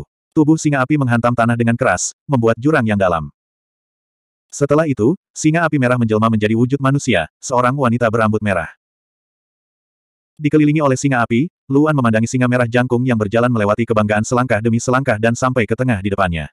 Perbedaan antara singa jantan dan singa betina sangat jelas terlihat. Ini jelas seekor singa betina, dan itu memberinya perasaan familiar. Saat singa merah melihat Luan, terutama saat melihat mata Luan, matanya langsung memerah. Adegan ini mengejutkan semua singa api. Mereka memandang putri kecil. Ini adalah emosi yang belum pernah ditunjukkan putri kecil sebelumnya. Tubuh putri kecil gemetar. Tiba-tiba, dia mengulurkan cakarnya dan menarik Luan dan Yao ke punggungnya. Kemudian, dia melompat ke langit dan berlari dengan liar menuju langit yang jauh. Adegan ini langsung mengejutkan semua singa api. Mereka bahkan tercengang. Kebanggaan besar itu tiba-tiba mereda. Itu sunyi. Tidak ada alasan lain. Putri kecil, benar-benar mengizinkan seseorang untuk naik ke punggungnya. Dan itu adalah seorang laki-laki. Bahkan jika singa api ini melihat pemandangan ini dengan mata kepala mereka sendiri, mereka masih meragukan mata mereka sendiri. Mereka tidak percaya. Tanda pisah tanda pisah tanda pisah. Tanda pisah tanda pisah. Suara mendesing. Luan dan Yao duduk di punggung singa merah, bergerak maju dengan cepat di udara. Segera, keduanya meninggalkan wilayah tengah daratan dan tiba di gurun tak berpenghuni. Tubuh singa merah tiba-tiba turun, menukik ke tanah bersama kedua orang itu. Dengan ledakan, singa merah mendarat dengan keras di tanah, menciptakan retakan besar di tanah. Luan dan Yao juga diusir. Namun, kekuatan mereka cukup untuk menstabilkan sosok mereka dengan kecepatan ini dan mereka mendarat dengan mantap di tanah. Keduanya langsung berdiri tegak dan menatap singa merah di depan mereka. Tubuh singa merah berkelebat dan tubuhnya menyusut, segera berubah menjadi manusia. Seorang manusia dengan rambut merah panjang. Luan dan Yao memandangi gadis berambut merah di depan mereka. Dia sangat cantik. Meskipun dia tidak secantik Yao Yao dan Yang Beauty, dia sebanding dengan wanita lain di keluarga. Saat Luan melihat wajah gadis berambut merah itu, hatinya bergetar. Gadis itulah yang muncul di lautan kesadarannya. Kamu, gadis berambut merah itu membuka mulutnya, suaranya yang tajam dipenuhi rasa tidak percaya. Dia memandang Luan dan berkata, apakah kamu benar-benar putra Ting kecil? Hati Luan bergetar lagi. Dia tahu bahwa nama ibunya adalah Luan. Dia mengangguk penuh semangat dan berkata, ya, nama saya Luan dan Yao. Tubuh gadis berambut merah itu bergetar. Lalu, matanya menjadi merah. Kenangan malam itu 18 tahun lalu melonjak ke lautan kesadarannya. Kalau begitu kamu akan mengikuti nama keluarga ibumu. Kamu akan menjadi Luan. Air mata muncul di mata gadis berambut merah itu. Dia menarik napas dalam-dalam dan berkata, karena kamu adalah anak Ting kecil, kamu harus memiliki garis keturunan pria itu. Lepaskan dan biarkan aku melihatnya. Saat Luan mendengar ini, dia segera mengangkat tangannya. Tiba-tiba, sebongkah es melayang di atas telapak tangannya. Udara dingin sungguh menyesakan. Benar sekali, itu adalah deep ice milik klan Hachiko. Gadis berambut merah itu memejamkan mata, seolah sedang mengendalikan emosinya. Setelah beberapa saat, dia membuka matanya dan menelan air matanya. Dia berkata kepada Luan, saat itu, aku melihat Ting kecil melompat ke sungai kuno bersamamu. Bagaimana kamu bisa bertahan hidup? Ceritakan semua yang kamu tahu. Setelah mendengar ini, Luan dan Yao saling berpandangan. Mereka telah membicarakan masalah ini, termasuk Fuyu. Semua wanita berpendapat bahwa karena putri kecil klan singa api dapat membantu ibu Luan melarikan diri, itu berarti mereka memiliki hubungan yang dalam. Tidak perlu menyembunyikan terlalu banyak, termasuk soal pria dalam kabut hitam dan pengorbanan di dada Luan. Maksud Fuyu, selama dia tidak menyebutkan tiga roda takdir dan api suci surga ke-9, dia bisa mengatakan apa saja. Oleh karena itu, Luan menceritakan semua yang telah terjadi selama bertahun-tahun. Dia menceritakan semua yang terjadi di sungai kuno. Pria dalam kabut hitam telah menyelamatkannya dan ibunya telah mengorbankan nyawanya untuk melindunginya. Dia dibesarkan di daerah budak dan belajar tentang latar belakangnya. Dia datang ke sini setelah mengetahui tentang klan singa surgawi dari Fuyu. Mendengar cerita itu, gadis berambut merah itu merasa hatinya seperti tertusuk pisau. Dia tidak akan melampiaskan kebenciannya pada Jiang Yuan pada Luan. Alasannya sederhana. Lu Ting sangat menyayangi anak ini. Fakta bahwa dia rela mengorbankan nyawanya demi anak ini sudah cukup untuk menjelaskan segalanya. Bagaimana dia bisa membenci sesuatu yang disukai Xiao Ting? Gadis berambut merah itu memandangi benang emas di dada Luan dan akhirnya tidak bisa menahannya lebih lama lagi. Dia menangis di depan Luan dan Yao. Namun, ketika gadis berambut merah mengetahui tentang hubungan antara Luan dan Tuan Muda Klan Fu, matanya tiba-tiba berubah dingin. Dia menatap Luan dengan mata penuh kekecewaan. Bagaimana kamu bisa berhubungan dengan klan Hachiko? Gadis berambut merah itu menegurnya dengan keras. Ibumu dibunuh oleh klan Hachiko. Apa kamu lupa? Aku tidak akan pernah melupakan kematian ibuku. Luan memfokuskan matanya dan berkata dengan tegas, tapi Fuyu tidak ada hubungannya dengan masalah ini. Jika bukan karena Fuyu melindungiku, aku akan dibunuh oleh klan Kang. Fuyu adalah kekasihku. Saya tidak akan pernah melakukan apa pun untuk mengecewakannya. Gadis berambut merah itu tercengang. Dia memandang Luan dengan bingung. Kemudian, dia tersenyum pahit dan berkata, matamu yang tergila-gila sama persis dengan mata ibumu. Tubuh Luan gemetar. Dia tidak tahu harus berkata apa. Hubungan yang tidak menguntungkan. Hubungan yang bernasib buruk. Gadis berambut merah itu menatap ke langit dan menghela nafas. Dia berkata dengan getir, dulu, ibumu jatuh cinta dengan klan Hachiko. Akhirnya, dia terpaksa bunuh diri dengan melompat ke sungai. Aku tidak pernah menyangka kamu akan berhubungan dengan klan Hachiko. Klan Hachiko hanya mementingkan keuntungan. Pada akhirnya, orang yang akan terluka adalah kamu. Mendengar perkataan gadis berambut merah itu, Luan mengerutkan kening dan berkata dengan tegas, Fu Yu tidak akan. Gadis berambut merah itu tertawa mengejek dan berkata, ibumu mengatakan hal yang sama saat itu. Luan mengerutkan kening dan berkata, Fu Yu berbeda dari yang lain. Gadis berambut merah itu tersenyum pahit dan menggelengkan kepalanya. Dia berkata, ibumu dan aku seperti saudara perempuan. Aku tidak pernah lupa untuk membalas dendam pada ibumu. Lebih baik lagi kamu masih hidup. Setelah jeda, gadis berambut merah itu menarik napas ringan dan berkata kepada Luan, namaku Hong Yi. Ini adalah nama yang diberikan ibumu kepadaku. Kamu adalah putranya, jadi panggil aku kakak Hong Yi. 1487. Hong Yi, kakak perempuan. Luan terkejut, dan dia sedikit bingung. Jika dia menyebut ibunya sebagai saudara perempuan, bukankah seharusnya dia memanggilnya Bibi Hong Yi? Luan tercengang, dan dia tidak bisa mengatakannya. Hong Yi segera melihat kekhawatiran Luan, dan dia tidak bisa menahan cemberut. Dia berkata kepada Luan dengan sedih, aku adalah putri dari klan singa menyala, dan aku belum menikah. Jika kamu berani memanggilku Bibi, meskipun kamu adalah putra Ting kecil, aku akan mematahkan kakimu. Melihat kepribadian pihak lain yang mudah tersinggung, Luan menjadi lebih bingung. Dia berpikir bahwa dia takut, dan dia hanya bisa dengan cepat berkata, kakak Hong Yi. Bagus, itu lebih seperti itu. Hong Yi memperlihatkan senyuman puas dan penuh penghargaan, dan menoleh untuk melihat wanita cantik di samping Luan. Harus dikatakan bahwa penampilan wanita ini terlalu cantik. Saya tidak pernah berpikir bahwa saya akan cukup beruntung bisa bertemu dengan putri semoku dalam hidup saya. Ketika Hong Yi berbicara dengan Yao Yao, Nadanya menjadi serius, dan dia berkata, Semoku telah melakukan kebaikan yang besar untuk klan singa api saya, dan siapa pun yang bertemu Semoku harus diperlakukan dengan hormat. Kamu juga istri Luan, jadi bagiku, kamu lebih penting lagi. Tapi, Hong Yi memandang Luan, dan berkata dengan bercanda, kamu mengatakan bahwa kamu jatuh cinta dengan tuan muda klan Fu, dan kamu juga bisa menikahi putri Semoku. Kamu sungguh luar biasa, kamu tidak seperti ibumu dalam aspek ini. Luan merasa malu, dan tidak bisa berkata apa-apa. Ayo pergi. Hong Yi berkata, karena kita sudah menemukan jawabannya, kita tidak perlu tinggal di luar. Kita harus kembali. Kedatangan kalian berdua pasti akan membuat Flaming Lion Clan menjadi semarak. Saat dia berbicara, Hong Yi menatap ke arah Luan, dan berkata, tetapi saya harus menasihati Anda untuk berhati-hati. Meskipun kamu berasal dari Sengoku, kamu masih memiliki darah klan Hachiko di tubuhmu. Bahkan jika suku singa api kami tidak mencoba membunuhmu, kami akan tetap memusuhimu. Klan Flaming Lion kami adalah klan yang suka berperang, dan terkadang bahkan saya tidak dapat membantu Anda. Luan tercengang. Mungkinkah dia masih perlu bertarung? Namun, dia tidak mempedulikannya sekarang. Meskipun Hong Yi tahu tentang dia, dia tetap tidak tahu tentang ibunya. Dia buru-buru menghentikan Hong Yi yang hendak pergi dan berkata, kamu masih belum memberitahuku tentang ibuku. Arwah merah berhenti dan berbalik untuk melihat ke arah Luan. Matanya dipenuhi kesedihan dan kemarahan saat dia berkata dengan suara rendah, aku akan menceritakan kepadamu tentang ibumu perlahan-lahan. Tanda pisah tanda pisah tanda pisah. Tanda pisah tanda pisah tanda pisah. Negeri Singa Api, wilayah tengah. Singa api yang tak terhitung jumlahnya berkumpul di sini. Setidaknya ada seribu, atau bahkan beberapa ribu. Kalaupun dilihat ke bawah dari langit, tetap saja pemandangannya spektakuler, apalagi berada di tengah ribuan singa api. Saat ini, Luan dan Yao berada dalam kondisi seperti itu. Ketika Hong Yi membawa mereka berdua kembali, semua singa api segera berkumpul di sekitar mereka dan mengepung mereka. Semua singa api menunjukkan permusuhan terhadap Luan. Alasannya sangat sederhana, karena dia baru saja menaiki punggung putri kecil. Luan secara alami merasakan permusuhan di mata singa-singa ini. Hal ini membuatnya sedikit mengernyit dan merasa bingung. Jika dia tahu inilah alasannya, dia mungkin akan memuntahkan darah. Untuk menjaga Luan dan Yao, Hong Yi tidak berubah kembali ke wujud aslinya. Dia masih berdiri di depan Luan dalam wujud manusianya. Melihat singa api di sekitar mereka terengah-engah dan mengaum ke arah Luan, Hong Yi mengerutkan kening dan segera meraung untuk menakuti singa api. Di saat yang sama, dia mengatakan sesuatu dengan lantang dalam bahasa klan singa api. Hong Yi memperkenalkan Luan dan Yao, mengatakan bahwa mereka berasal dari Sengoku. Dia juga memperkenalkan latar belakang Luan dan hubungannya dengan dia. Ketika singa api mendengar bahwa mereka berdua berasal dari Sengoku, kemarahan mereka mereda. Namun, ketika mereka mendengar bahwa Luan memiliki hubungan dengan klan Hachiko, mereka segera memamerkan taring mereka dan meraung ke arah Luan.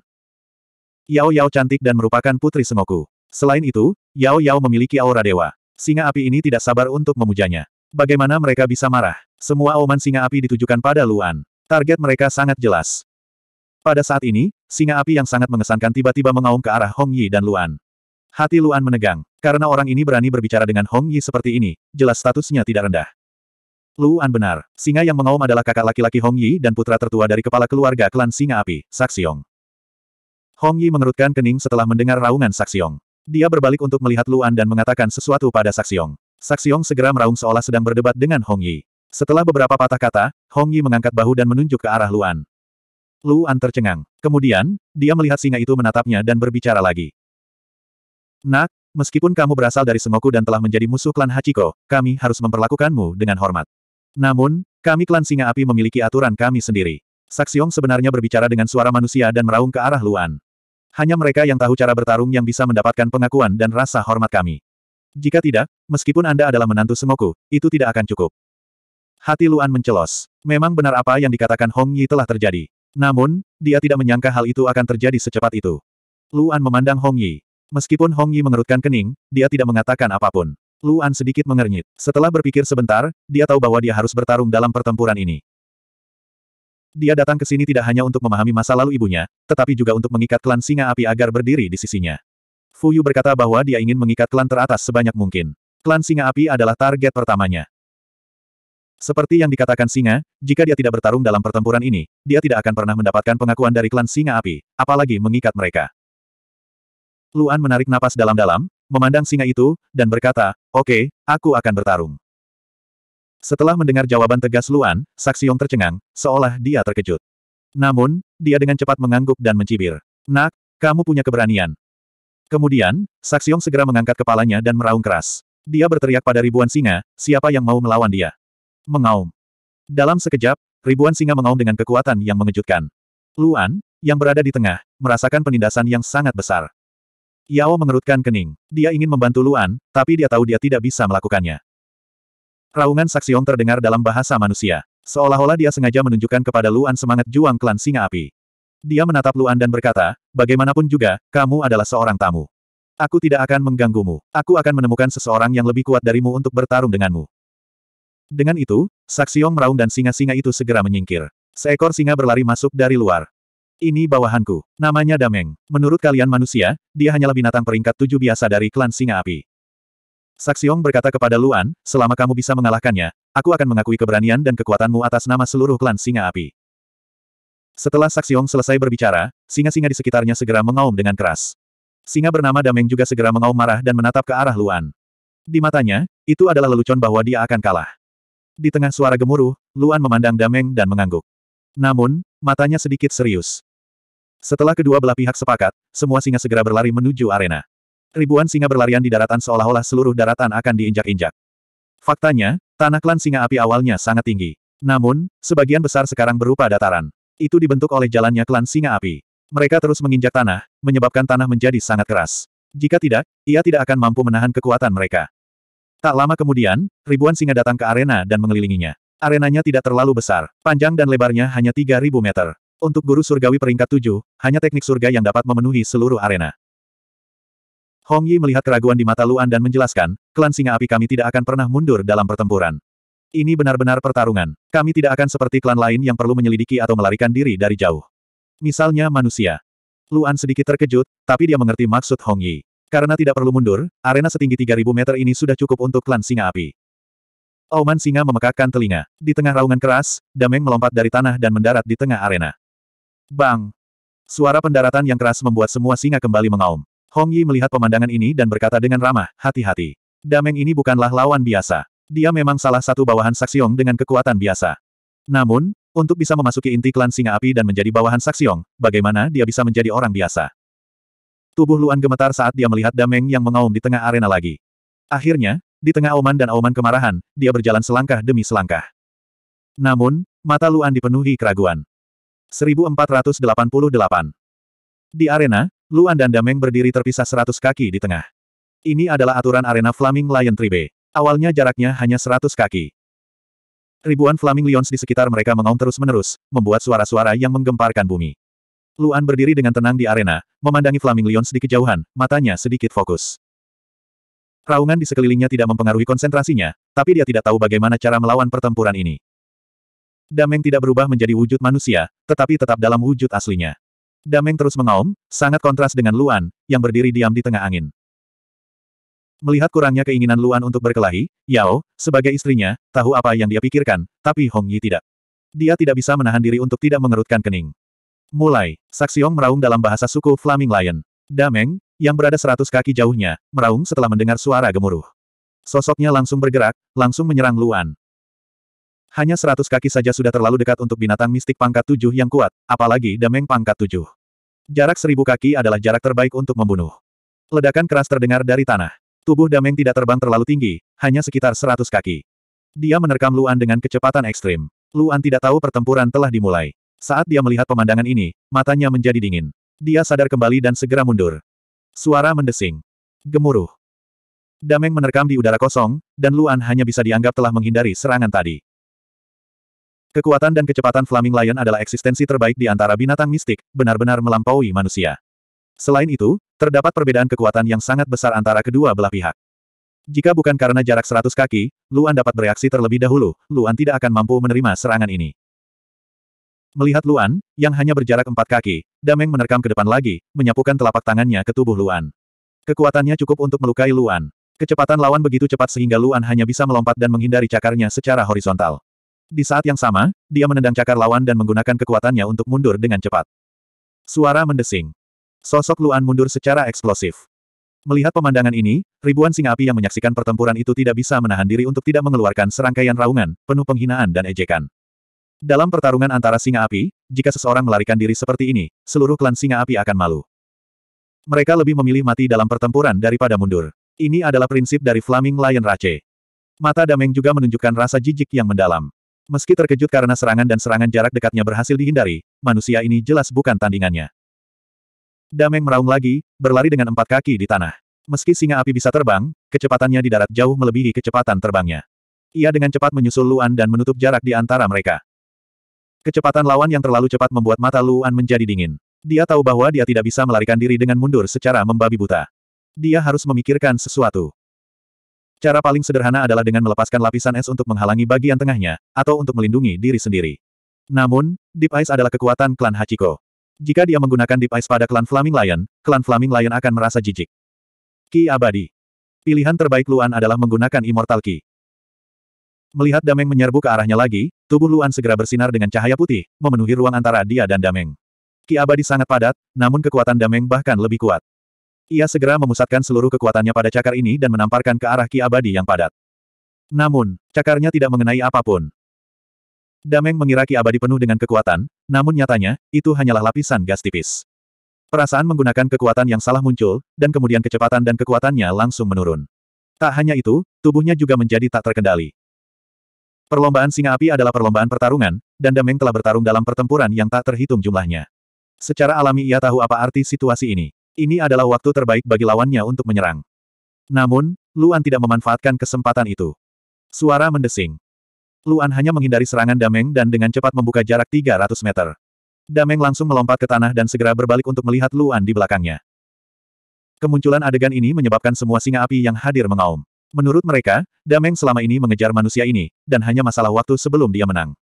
Hanya beberapa singa api yang sangat cerdas yang secara samar-samar menyadari bahwa ada sesuatu yang tidak beres. Ini termasuk Nyonya Merah. Dia memandang Luan, yang berdiri dari tanah di kejauhan, dengan ekspresi bingung di wajahnya. Kemudian, Dameng menyerang Luan lagi. Sangat tidak puas karena tidak berhasil tiga kali berturut-turut.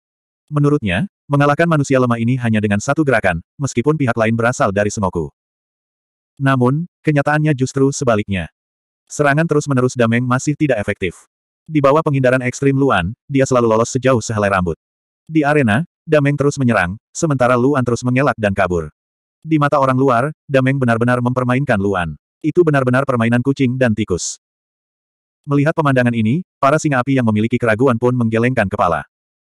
Meski merasa ada yang tidak beres, melihat manusia ini dikejar dan dipukuli hingga menutupi kepala dan kabur seperti tikus, keraguan di hati mereka pun sirna.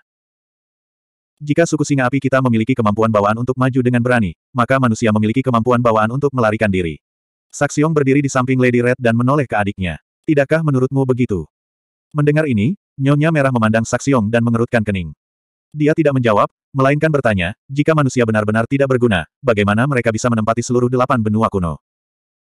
Mendengar perkataan Lady Red, wajah Saksiong tiba-tiba berubah, menjadi sangat jelek. Singa api di sekitarnya juga tampak bermasalah. Pasangan saudara kandung ini biasa bertengkar, dan mereka tidak tahu bagaimana membujuk mereka. Manusia dapat menempati delapan benua kuno karena jumlahnya terlalu banyak. Seekor singa api dengan cepat berkata, jika suku singa api kita juga memiliki orang sebanyak itu, tidak akan ada manusia di dunia ini. Mendengar ini, singa api di sekitarnya langsung mengangguk setuju. Jelas sekali bahwa mereka juga menganggap ini adalah kebenaran. Itu benar. Saksiong pun langsung berkata dengan lantang, kalau pertarungan satu lawan satu, bagaimana bisa suku singa api kita kalah dari manusia? Lihatlah pertempuran di depan kita. Lalu bagaimana jika dia memiliki garis keturunan klan Hachiko? Bukankah dia hanya tahu cara berlari? Nyonya Merah mengerutkan kening. Dia menarik napas dalam-dalam dan tidak mengatakan apa pun. Dia dengan dingin mendengus dan membawa Yao menjauh dari kelompok singa arogan ke sisi lain untuk menyaksikan pertempuran. Namun, tidak dapat disangkal bahwa Luan secara pasif menerima pukulan dan melarikan diri. Dia tidak memiliki kekuatan sedikit pun untuk melawan. Wajah Lady Red sangat muram saat dia menyaksikan adegan ini. Tiba-tiba, dia menyadari sesuatu dan segera menoleh untuk melihat Yao di sampingnya. Namun, dia menemukan bahwa wajah Yao tenang, tanpa rasa khawatir. Aneh. Bukankah dia istri Luan? Kenapa dia sama sekali tidak mengkhawatirkan keselamatan Luan? Dia dapat melihat bahwa wanita ini sangat mencintai Luan. Dia jelas bukan orang yang tidak berperasaan, tapi kenapa jadi seperti ini? Lady Red mengerutkan kening dan berpikir. Tiba-tiba, tubuhnya bergetar, dan dia menoleh untuk melihat Luan yang sedang melarikan diri. Mungkinkah? Mungkinkah bocah ini sengaja melakukannya? Itu benar, Lady Red akhirnya mengetahui hal ini. Luan memang sengaja melakukannya. Alasannya sederhana. Dia ragu apakah dia harus menang atau tidak. Dia ada di sini untuk memenangkan Flaming Lion Clan. Jika dia mengalahkan Flaming Lion sejak awal, dia khawatir hal ini akan membuat klan Flaming Lion memusuhi dia, sehingga mustahil untuk memenangkan hati mereka. Namun, dia juga merasa tidak bisa kalah karena datang bersama Yao. Bisa dibilang, dia mewakili Sengoku. Jika dia kalah, ke mana perginya wajah Yao? Kedua aspek ini telah terjerat dalam pikiran Luan. Luan tidak dapat memahaminya, jadi dia memilih untuk melarikan diri. Dia tidak melawan dari awal hingga akhir. Meski memiliki banyak peluang untuk mengalahkan Flaming Lion, namun ia tidak melakukannya. Saat ini, Dameng juga sedikit marah. Ia telah menyerang begitu lama dan masih belum berhasil menjatuhkan manusia ini. Ini merupakan penghinaan terhadapnya. Awalnya, ia hanya ingin menggunakan kekuatan fisiknya, namun sepertinya ia tidak bisa menyembunyikan kekuatannya. Itu perlu menggunakan kekuatan unik dari klan Singa Flaming. Tubuhnya langsung menerjang ke depan. Luan telah meramalkan hal ini sebelumnya. Setelah menghindari serangan ini, tubuhnya terbang mundur di udara. Saat ini, mata Dameng berbinar. Ia membuka mulutnya dan tiang api besar langsung menuju Luan. Luan terkejut. Dia tidak bisa lagi mengelak, jadi dia segera melepaskan versi kecil dari teknik penangkapan naga di depannya dan memblokir serangan ini dengan telapak pelangi miliknya. Namun, kekuatan lawannya jauh lebih tinggi darinya. Meskipun teknik penangkapan naga memblokir sebagian besar pilar api, sebagian darinya masih mengenai Luan secara langsung. Ledakan. Tubuh Luan terbang mundur sejauh ratusan kaki. Dia berhenti hanya ketika sampai di pagar di pinggir arena. Bang! Tubuh Luan membentur pagar, dan darah di tubuhnya bergejolak. Untungnya, dia menggunakan lengannya untuk melindungi tubuhnya, sehingga dia tidak mengalami luka serius. Namun, yang mengejutkannya adalah istrinya dan Lady Red berdiri di belakangnya. Lady Red memelototinya dengan wajah penuh amarah. Setelah bertanya pada Yao, Yao memberitahu Nyonya Merah tentang kekhawatiran Luan, sehingga dia bisa memastikan pemikiran Luan. Karena itu, dia semakin marah. Di bawah tatapan tertegun Luan, Nyonya Merah mengertakkan gigi dan berkata, saya tahu Anda ingin mengikat suku singa menyala, tetapi saya juga mengatakan bahwa suku singa menyala hanya menghormati yang kuat. Jika Anda benar-benar ingin mengikat mereka, hajar dameng hingga babak belur. Semakin sulit, semakin baik. Semakin kuat Anda menunjukkannya kepada mereka, semakin besar keinginan mereka untuk membantu Anda. Jika Anda benar-benar kalah, maka mereka akan meremehkan Anda dan mengabaikan Anda. Tubuh Luan bergetar. Dia memandang Nyonya Merah dengan tidak percaya. Dia tidak menyangka suku Flaming Lion mempunyai sifat pemarah seperti itu. Melihat ekspresi terkejut Luan, Nyonya Merah menarik napas dalam-dalam dan berkata dengan dingin, 20 tahun yang lalu, ketika ibumu datang ke suku singa menyala, dia hampir menjungkir balikan seluruh suku singa menyala sendirian. Sebagai putranya, jangan mempermalukan dia. Tubuh Luan bergetar, wajahnya penuh keterkejutan, dan dia benar-benar tercengang. Lalu, matanya berubah drastis. Dari keraguan hingga tekad, dia menoleh untuk melihat Dameng di tengah arena. Dia menarik napas dalam-dalam, dan matanya menjadi sangat dalam. Tidak peduli apa, dia tidak boleh mempermalukan reputasi ibunya. 1489 Setelah Dameng menghempaskan Luan, seluruh penonton bersorak dan mengaum. Baik Saksiong yang menyaksikan pertarungan dari pinggir lapangan maupun Dameng yang berada di arena menjadi semakin bersemangat. Setelah sekian lama mengejar manusia ini, akhirnya ia membalas dendam. Dengan sangat cepat, baik Dameng maupun kelompok kebanggaannya menyadari bahwa Luan terlempar tepat di depan Red, dan mereka bahkan sedang mengobrol. Ini membuat mereka semakin marah. Terutama Dameng, merah adalah dewinya, bagaimana dia bisa begitu dekat dengan manusia, bahkan mereka belum pernah menikmati perlakuan seperti itu. Di tengah raungan marah penonton, Dameng meraung. Setelah ledakan, yang keras, tubuh Dameng sekali lagi terlempar. Dameng bahkan lebih cepat dari sebelumnya. Dipenuhi amarah, ia melepaskan niat bertarung yang lebih kuat dan menyerang langsung ke arah Luan yang berada di tepi. Lima ribu kaki terlalu pendek untuk Dameng, namun saat berlari, tubuhnya ditutupi lapisan api yang tebal. Nyala apinya sangat dahsyat, menyebabkan kekuatan Dameng meningkat sekali lagi, membentuk dampak yang sangat besar saat menyerang Luan. Api pemecah surga. Ini adalah kekuatan dampak unik suku Flaming Lion, sangat kuat, dan tidak banyak yang berhasil mengolahnya. Dameng adalah binatang eksotis puncak peringkat tujuh, kekuatan suku Flaming Lion melebihi manusia. Selain gerakan ini, ia berubah menjadi bola api merah, langsung tiba di depan Luan kurang dari 500 kaki. Melihat pemandangan ini, beberapa Flaming Lion tidak sanggup menutup mata. Jika fisik manusia ini lebih baik, dia masih bisa mempertahankan nyawanya, jika tidak, dia akan langsung kehilangan nyawanya. Jaraknya semakin dekat. Semakin dekat dan semakin dekat. Ketika Dameng hanya berjarak 200 kaki dari Luan, tiba-tiba ia menyadari bahwa manusia ini sebenarnya sedang menutup matanya. Ia tidak tahu apakah manusia ini meremehkannya, atau apakah manusia ini sudah menyerah untuk melawan, tapi bagaimanapun juga, ia menuangkan lebih banyak kekuatan ke dalam tubuhnya, mengerahkan seluruh kekuatannya. Ketika jaraknya mencapai 100 kaki, tiba-tiba ia menyadari ada sesuatu yang tidak beres. Suku Flaming Lion adalah suku tingkat atas dan suka berperang, kemampuan mereka untuk merasakan bahaya sangat luar biasa. Ia langsung merasakan tubuhnya dipenuhi energi negatif dan energi kematian, sehingga menimbulkan rasa takut dan jijik. Kekuatannya langsung melemah sebesar 20%. Tak hanya itu, tubuh manusia ini juga mengeluarkan aura yang menyala-nyala. Akhirnya, Dameng hanya berjarak 10 kaki dari manusia ini, dampaknya akan menelan Luan. Saat ini, Luan akhirnya membuka matanya. Saat dia membuka matanya, sepasang pupil merah muncul, aneh dan dalam. Di saat yang sama, Luan maju selangkah dengan kaki kirinya dan menarik kembali lengan kanannya yang semerah besi. Lalu, dia melayangkan pukulan tepat ke arah hantaman besar di depannya. Suara mendesing. Gemuruh. Kekuatan mengerikan itu langsung menghancurkan tanah di sekitarnya. Dampak besarnya langsung membuat Fire Lions yang lebih lemah di sekitarnya terbang. Suara keras itu menyebabkan telinga singa api terasa sakit. Beberapa singa api bahkan tanpa sadar menutup mata mereka. Namun, banyak juga singa api yang tidak mengalihkan pandangannya dan terus menonton adegan ini. Jadi, pemandangan yang sangat mengejutkan mereka muncul. Saat kedua sisi bertabrakan, kaki manusia itu tertanam kuat di tanah, dan dia tidak mundur sama sekali. Dameng, sebaliknya, langsung terlempar oleh pukulan manusia ini. Tubuh Dameng terlempar ke belakang. Tubuhnya yang berat terbang hampir sepuluh ribu kaki sebelum dia mendarat dengan keras di tanah.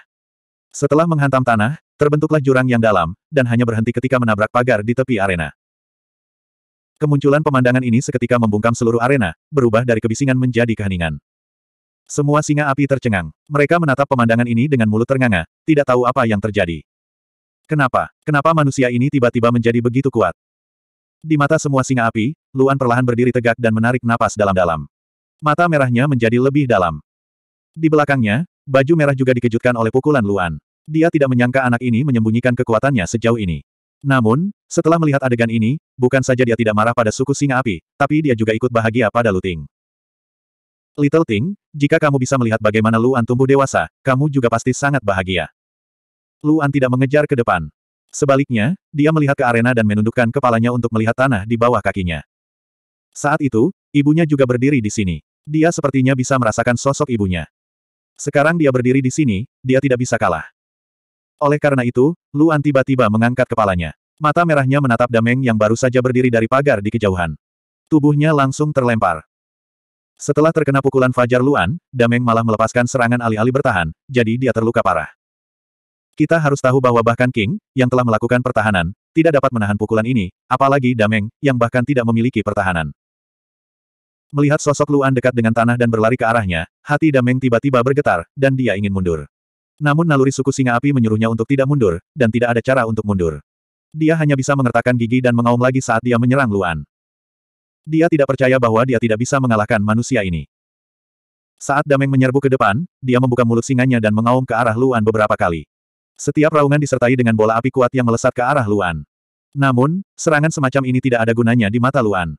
Dia dengan cepat menghindari bola api di sekitarnya. Melihat Luan begitu gesit, Dameng menarik napas dalam-dalam dan meraung lagi. Kali ini, bukan lagi bola api, tapi gelombang api besar yang menutupi seluruh arena. Menurutnya, manusia ini pasti tidak akan bisa mengelak kali ini. Meskipun area serangannya tidak kuat, suhu api suku singa api jauh melebihi suhu api suku lainnya. Kalau tidak, mereka tidak layak disebut suku singa api. Nyala api ini saja sudah cukup untuk membuat manusia menderita. Namun, suara mendesing. Sesosok langsung bergegas keluar dari lautan api dan langsung menuju Dameng. Lautan api tidak berpengaruh pada manusia ini. Itu tidak membakarnya sama sekali. Dameng kaget. Jarak antara mereka kurang dari 300 kaki. Dengan tergesa-gesa, Dameng melepaskan bola api lainnya. Bola api ini sangat besar dan diameternya sekitar 200 kaki. Jika Luan ingin menyerang, dia harus mengambil jalan memutar. Jika tidak, Luan akan berhenti jika dia menerimanya secara langsung. Namun, jelas Luan tidak melakukannya. Ketika bola api besar tiba di depannya, Luan menyerang dengan telapak tangannya. Seketika, cahaya hitam muncul, dan Luan menyerbu ke dalam bola api. Suara mendesing. Dalam sekejap mata, Luan melewati bola api dan tiba di depan Dameng. Dameng tercengang. Dia tidak mengerti apa yang sedang terjadi, tapi dia tahu bahwa dia harus menerima kenyataan dan segera bertarung. Suku singa api pandai dalam pertarungan jarak dekat. Dia tidak percaya kalau dia akan kalah dari manusia ini. Suara mendesing. Suara mendesing. Kedua cakar depan Dameng sangat tajam. Jika Luan tergores, dagingnya pasti akan terkoyak. Sayangnya, Dameng tidak berhasil melakukannya. Sebaliknya, setelah Luan menghindari kedua cakarnya, dia melayangkan pukulan ke perut Dameng yang terbuka. Dameng langsung dikirim terbang mundur seratus kaki. Hal ini membuat tubuhnya yang sudah terluka terasa semakin parah, dan gerakannya menjadi semakin lamban.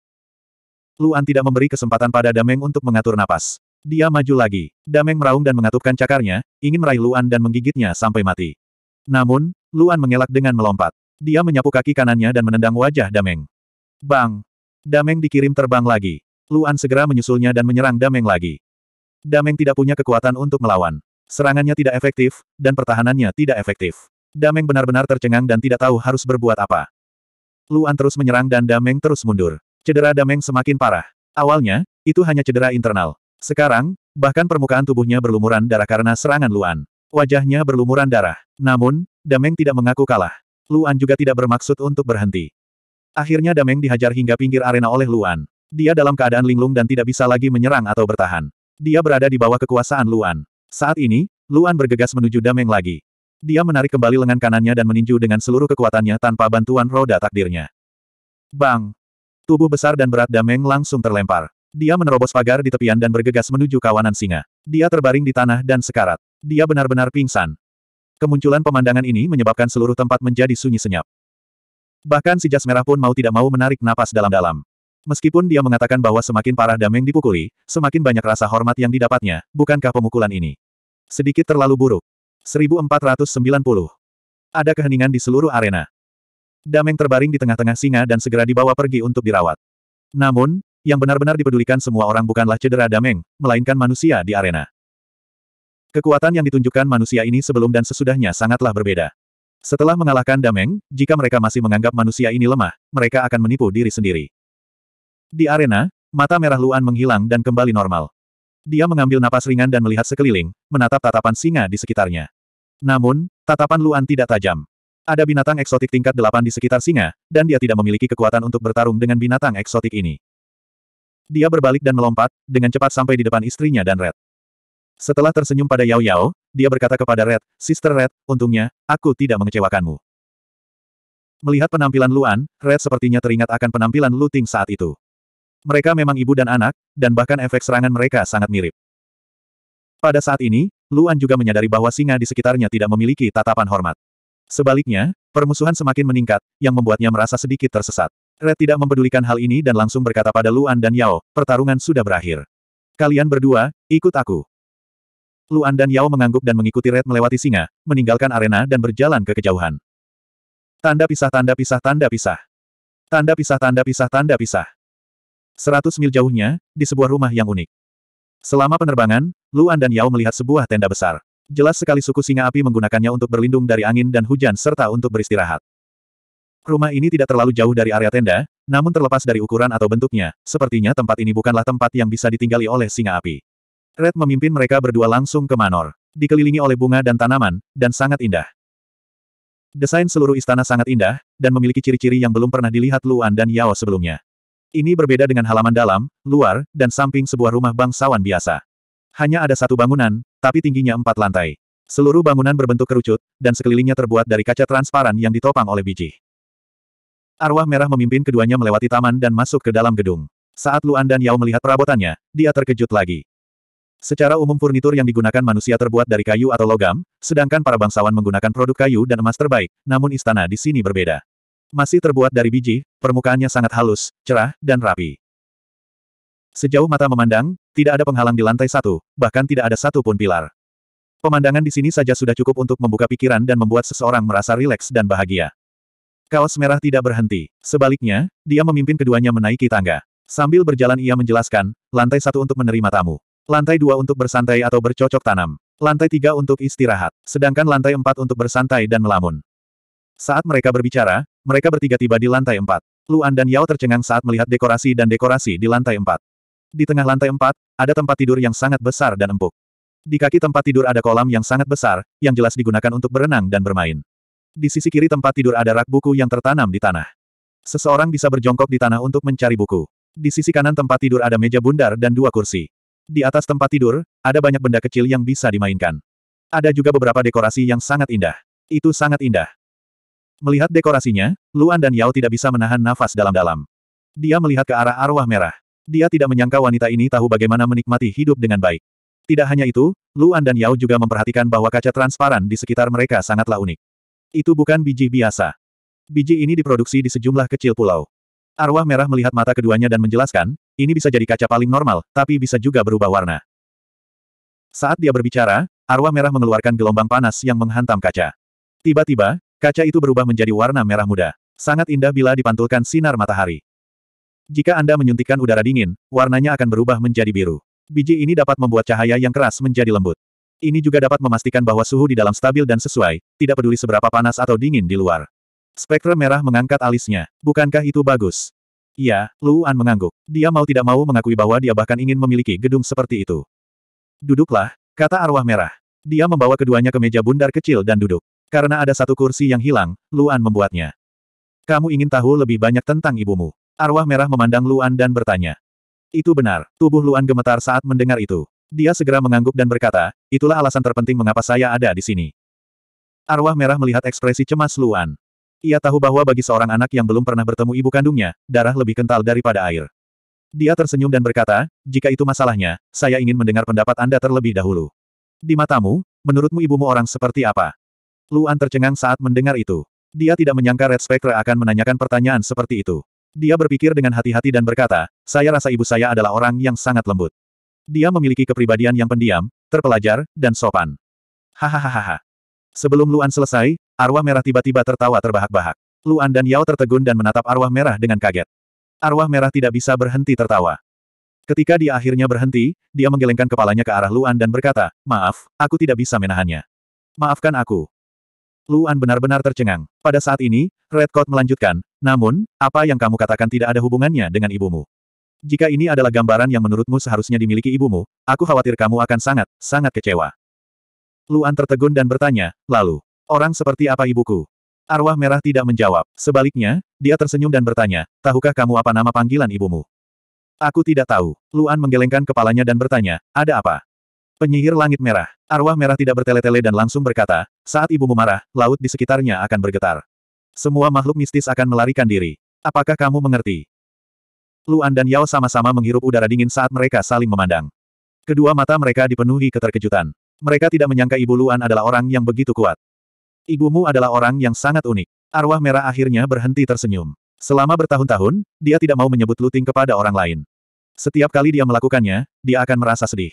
Emosinya tidak terlalu baik, tapi dia jelas bukan orang yang akan melakukan apa pun yang dia inginkan dan hanya peduli pada dirinya sendiri. Namun, jika seseorang berani memprovokasi dia, dia pasti akan memburunya. Dia tidak akan membiarkan mereka pergi meskipun mereka melintasi beberapa lautan. Dia pasti akan membalas dendam. Ibumu memang bukan orang yang lembut. Aku sudah lama mengenal ibumu, tapi aku hanya melihatnya lembut pada dua orang. Arwah merah menarik napas dalam-dalam dan menggelengkan kepalanya. Salah satunya adalah Jiang Yuan, orang yang menipu hati ibumu. Luan mengepalkan tangannya dan bertanya pada arwah merah, yang satu lagi adalah kak arwah merah, kan? Tidak, arwah merah memandang Luan dan berkata, itu kamu. Tubuh Luan bergetar hebat. Dia duduk tak bergerak di kursi.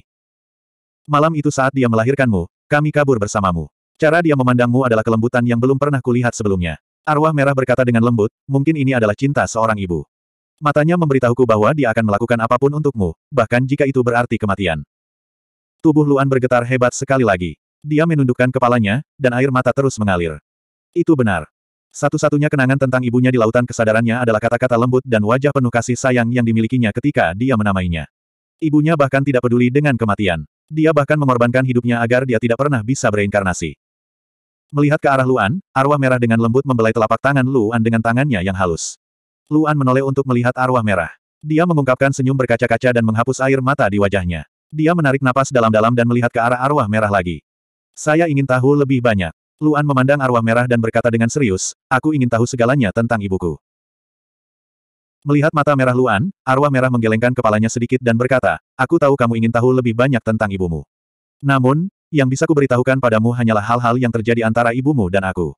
Ibumu dan aku bertemu empat tahun sebelum kamu lahir. Saat itu, kami bertemu di sebuah pulau terpencil di tengah lautan. Kami memiliki minat yang sama dan menjadi saudara perempuan. Namun, dari mana ibumu berasal dan apa latar belakangnya, dia tidak pernah memberitahuku. Mendengar perkataan arwah merah, hati Luan dan Yao bergetar. Mungkinkah latar belakang ibunya juga menjadi misteri? Namun, arwah merah mengangkat kepalanya dan menunjuk ke mata Luan. Pupil merah yang kamu gunakan di arena, ibumu juga tahu cara menggunakannya.